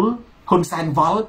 យើងមើលនគរនឹងវល់នគរមួយមានសម្ដាប់ធ្នាប់មានសេវាកម្មគុណភាពណា គឺវាអាស្រ័យទៅលើខួរក្បាលមេដឹកនាំល្អមានការរៀបចំត្រឹមត្រូវនគរមួយដែលពូពេញដោយអសន្តិសុខច្បុកច្បល់វិលក្បងកំប៉ុងជើងធូបកាយកប់ត្រឡប់ជន់បើនេះអានឹងវាបញ្ជាក់អំពីខួរក្បាលមេដឹកនាំវិលក្បងកាយកប់ត្រឡប់ជន់អឺអឺសារ៉ាត់បាទយូសខុមឈូធីបាទបន្តិចទៀតមានអាញាបានកាត់ ឈើធ្វើមឈូសខ្ទេចបាទគាត់ថាមឈូសនឹងខ្ទេចរឿងចែកលុយអត់រឿងចែកមឈូសដឹកពេញហ្នឹងបងស្រសង្គ្រោះមិនបានស្លាប់ទេបាទរិនដាកឹមរបបផ្ដាច់ការជួយឲ្យខ្មែររស់មិនងាយទេមានតែជួយសម្លាប់ណាសិលាលុនហាក់លោកគ្រូហេតុអ្វីកូវីដចេះតែកើនឡើងកើនឡើងប្រធានបတ်ពងនិយាយនឹងឯងឬក៏ទៅចូលមើល អមអាតុញអាតាប់សួស្ដីទើបចូលមិនយល់ចែកមឈូសត្រូវហើយបាទឡៅសុជាតិកម្មមនុស្សទាំងអស់អាក៏បដោតទៅលើយើងធ្វើនឹងមកពីកម្មហុងហុងស្រុកគេដុតអត់មកឈូសផងហ៊ុនសែនដុតខ្មោចសិតអើក៏វិលក្បងកំប៉ុងជាងជួបបងប្អូនទោះយ៉ាងណាក៏ដោយមកឈូសនឹងគេមនុស្សស្លាប់ហើយវាគង់តែមានទេមកឈូសនឹងវាមិនមែនត្រូវអត់ទេណាប៉ុន្តែការយកចិត្តទុកដាក់គេមិនដែលរំលឹកទេអាហ្នឹងគេរំលឹក ការជួយសុខភាពមហូបអាហារវិញបងប្អូនណាផនផណាបច្ចុប្បន្នហ្នឹងអ្នកដែលយកទៅចាត់តាលិសាហ្នឹងសិតតែអ្នកជាយកទៅបដុំគ្នាឈឺឲ្យងាប់មកតែប៉ុណ្ណឹងបច្ចុប្បន្នណាកូវីដនៅក្នុងប្រទេសកម្ពុជាកើនមិនមែនកើនដោយសារអីទេណាកើនដោយសារយកមនុស្សទៅបដុំចាត់តាលិសាហ្នឹងបាទអឺយុទ្ធយុទ្ធនាការឈ្នះឈ្នះ 2019សំនឹងស៊ីចូលស្រុកចល័តរកអរសេវែងបាទមានពេលអានប៊ុនយ៉ុងសរសេរខុសហើយក៏តបពីនរតីមកបូពីធីចន្ទរារាមាសម្បត្តិឈឺហើយឈឺធ្ងន់ណាស់ឈឺធ្ងន់ណាស់បាទសូនរាថាឈឺឈឺហើយអឺនារីក្នុងវិស័យនយោបាយសូនតារាមិនព្រមទទួលការពិតសោះអីគេការពិតហ្នឹងបាទប្រាប់មកខ្ញុំទទួលនិយាយច្បាស់មើល ស្អីម្ដងទៀតសូនតារាមិនព្រមទទួលការពិតសោះថាសម្ដេចហ៊ុនសែននឹងអត់ឈឺអាហ្នឹងបានខ្ញុំបកកាយថាខ្ញុំការពិតគឺគាត់ឈឺបាទសិនសវណ្ណរាអាមចាក់វាក់សាំងហើយអូអាហ្នឹងចាំបានថាសិនសវណ្ណរាគាត់និយាយចាក់វាក់សាំងហើយនៅតែខ្លាចមានន័យថាម៉េចមានន័យថាហ៊ុនសែនធ្ងន់ធ្ងរហើយគាត់ដំណាក់កាលចុងក្រោយហើយនេះធម្មតាចាក់វាក់សាំងហើយណាសុភាព GL ដែលបញ្ច្រាស់ទិសណា គឺវាអត់ត្រូវខ្លាចទេដល់ថ្នាក់ដូចហ៊ុនសែនបើហ៊ុនសែនខ្លាចវឹកវររហូតតែអ្នកជួបត្រូវទៅធ្វើតេស្តអានឹងមានន័យថាគាត់ដល់ដំណាក់កាលចុងក្រោយហើយបាទដូចសូនរាព្យាករមិនខុសទេ អ្នកប្រុសធំលោកគ្រូហេតុអីចាស់ចាស់មិនឲ្យនិយាយរឿងនយោបាយហេចាស់ចាស់មានចាស់ចាស់ CPP ណែមិនមែនចាស់ចាស់ទាំងអស់ទេ បាទហើយនឹងចាស់ចាស់ដែលមានគំនិតជឿនលឿនឬក៏មើលពិភពលោកក្នុងផ្លូវទលាយមិនមែនកែក្នុងដងយើងក៏ម៉ៅទាំងអស់ បាទច័ន្ទហនហ៊ុនសែនបញ្ចប់ចតាលិស័កខ្ញុំបានធ្វើប្រធានបទមុនណាច័ន្ទហននេះខ្ញុំថាតាំងពីថ្ងៃទី28 29ណាអាហ៊ុនសែនចប់ចតាលិស័កទៅណាខ្ញុំដាក់សំណួរអញ្ចឹងខ្ញុំក៏ឆ្លើយថាអញ្ចេះបទវិភាគណាខ្ញុំថាគាត់មានទៅណាជុំវិញផ្ទះនឹងមិនហ៊ុនសែនឈឺធ្ងន់អាចារ្យតាលិស័កហ្នឹងគាត់ណាជីគាត់ណាជាល្បិចដកឃ្លាទៅពេទ្យទេយើងតែគាត់ទៅពេទ្យគាត់មានប្រាប់យើងណា គាត់លួចទៅនឹងឧទាហរណ៍ទៅចេះបាទឆៃយ៉ាស្រមោចក្រហមចែកមឈូសកាត់ឈើត្រឹមត្រូវឲ្យប្រទេសកម្ពុជាយើងអស់ឈើដោយសារមឈូសនឹងមួយសាទៀតសុភ័ក្រសុភ័ក្រកូវីដនយោបាយដោយលោកគ្រូថាមែនពិតប្រកបហើយសុភ័ក្របាទហ៊ីលយូហ៊ុនសែនឈួតកែលែងបាន សារីសារីណាទុនលោកគ្រូអើយកូវីដណាខ្ញុំកំពុងនិយាយគឺអញ្ចឹងហើយនៅស្រុកខ្មែរនឹងវាវិលហើយស្អីក៏កូវីដអាមិនអាឆ្លោះចកេះក៏កូវីដដែរឥឡូវបាទ ពូកាហេងអ្វីដែលអ្នកក្នុងមិនហ៊ាននិយាយត្រូវបានជំនួសដោយលោកគ្រូនិយាយអរគុណបាទរួមគ្នាសង្គ្រោះជាតិយើងឈិនណាតពេលឈឺស្លាប់ហើយគេមិនឲ្យធ្វើបុណ្យអាហ្នឹងបានថាចឹងបានថាសោកនាដកម្មនៅក្នុងប្រទេសកម្ពុជាបច្ចុប្បន្នហ្នឹងណាអ្នកដែលស្លាប់នៅក្នុងរបបហ៊ុនសែនណាបងប្អូនគឺដោយសារតែអាការបច្ចេកទេសខុសនឹងឯង ណាដល់តែពេលឲ្យបែងចែកថាអ្នកណាស្លាប់នឹងដោយសារកូវីដអ្នកណាស្លាប់នឹងមិនដោយសារកូវីដចប់នៅស្រុកបារាំងបច្ចុប្បន្នហ្នឹងគេបើកមកមុនអាពីវិភាគេបើកឥឡូវអាពីវិភាគេបើកផ្សារធំគេបើកមុនគេបិទមុនគេបិទផ្សារមិនចាំបាច់ដូចផ្សារខោអាវផ្សារស្បែកជើងផ្សារកីឡាអីហ្នឹងគេបើកតែផ្សារមហោពេតែឥឡូវគេបើកទាំងអស់នេះសាលារៀនគេបើកទាំងអស់អើអត់អីគេឆ្លងច្រើនជាងយើងរាប់សិបលានអ្នកអត់អីកម្មវិធីនេះនៅខ្មែរយើងដូចជាមាន នៅនៅទីក្រុងខ្ញុំមានអ្នកស្លាប់ខ្មែរយើងគេទៅបនសពបានតើបើខ្ញុំបានទៅបាទខ្ញុំជាប់ធ្វើកម្មវិធីផ្សាយផ្ទាល់ណាគឺមានតែនៅស្រុកនេះអនុញ្ញាតឲ្យមាន disco មានការប្រគំតន្ត្រីនៅខាងក្រៅមានមនុស្សចាប់ពីប្រមាណ4 5000នាក់គេកំណត់មនុស្សតែជាទូទៅវាអត់ទេបើកណាគេបើកគឺជាថាឬក៏មនុស្សច្រើនពេកបញ្ជាន់គ្នានៅក្រុងខ្ញុំនេះ គឺគេមានអាតន្ត្រីពេលដែលបើកទាត់បារាំងលេងអីហ្នឹងគេដាក់អានេះ slide គេដាក់ LCD ហ្នឹងមនុស្សមើលរាប់ពាន់នាក់លេងអីគេលេងខាត់លេងអីប៉ុន្តែនៅកម្ពុជា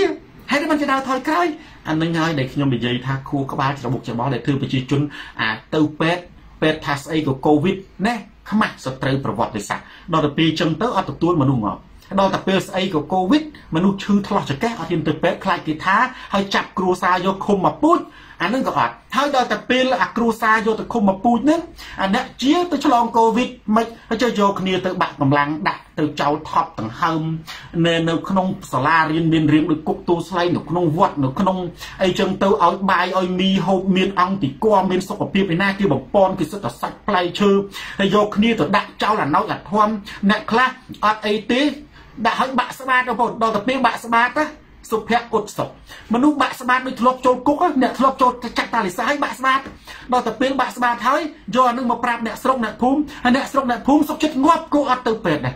ខ្លាចគេថាកូវីដអានឹងហើយគេហៅថាធ្វើឲ្យខ្មែរវល់ធ្វើឲ្យខ្មែរពុលហើយដោយសារតែមេដឹកនាំនឹងមានខួរក្បាលច្របូកច្របល់ខួរក្បាលពុលវាបញ្ជាក់អំពីសមត្ថភាពរបស់ហ៊ុនសែនហើយបាទអឺនគរមួយរុងរឿង សន្តិសុខឬក៏អសន្តិសុខគឺគេមើលទៅលើសមត្ថភាពអ្នកដឹកនាំបាទជីហៅតាក៏ថាបាន5000អ្នកដូចប្រាំងដែរបាទសឿនង៉ែត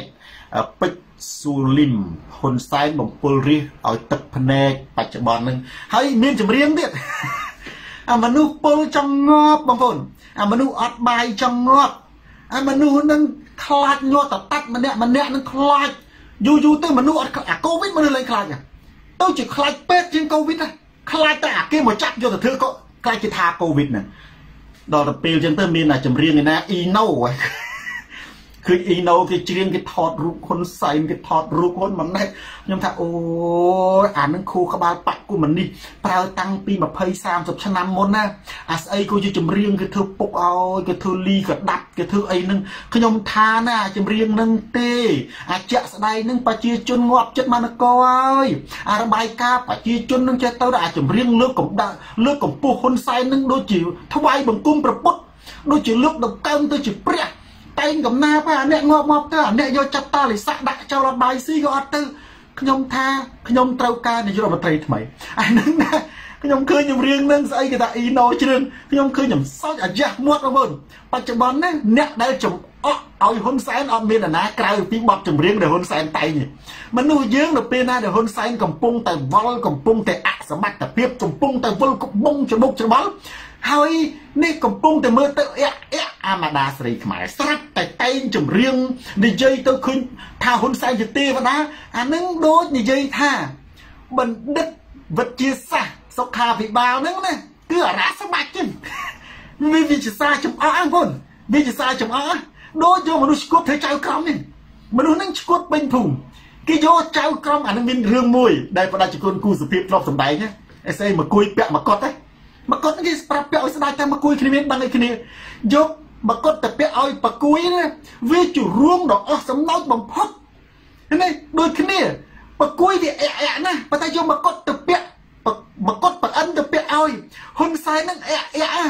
អាសកម្មភាពផ្នែកប្រជាជនមើលឃើញអាអាទង្វើរបស់ហ៊ុនសែននឹងវាអែអែដល់កម្រិតវាអន់វាវិលខ្មុំហើយស្រាប់តែអ៊ីណូយកមកកត់ទៅឲ្យហ៊ុនសែនពាក់ ទៅតែងចម្រៀងនេះណាទៅទៅនិយាយថាអស់ចាណាស់ពុកមានអានឹងវាទៅជាចំអកឲ្យហ៊ុនសែនវិញអញ្ចឹងបានតែខ្ញុំថាអញ្ចេះសេតជួ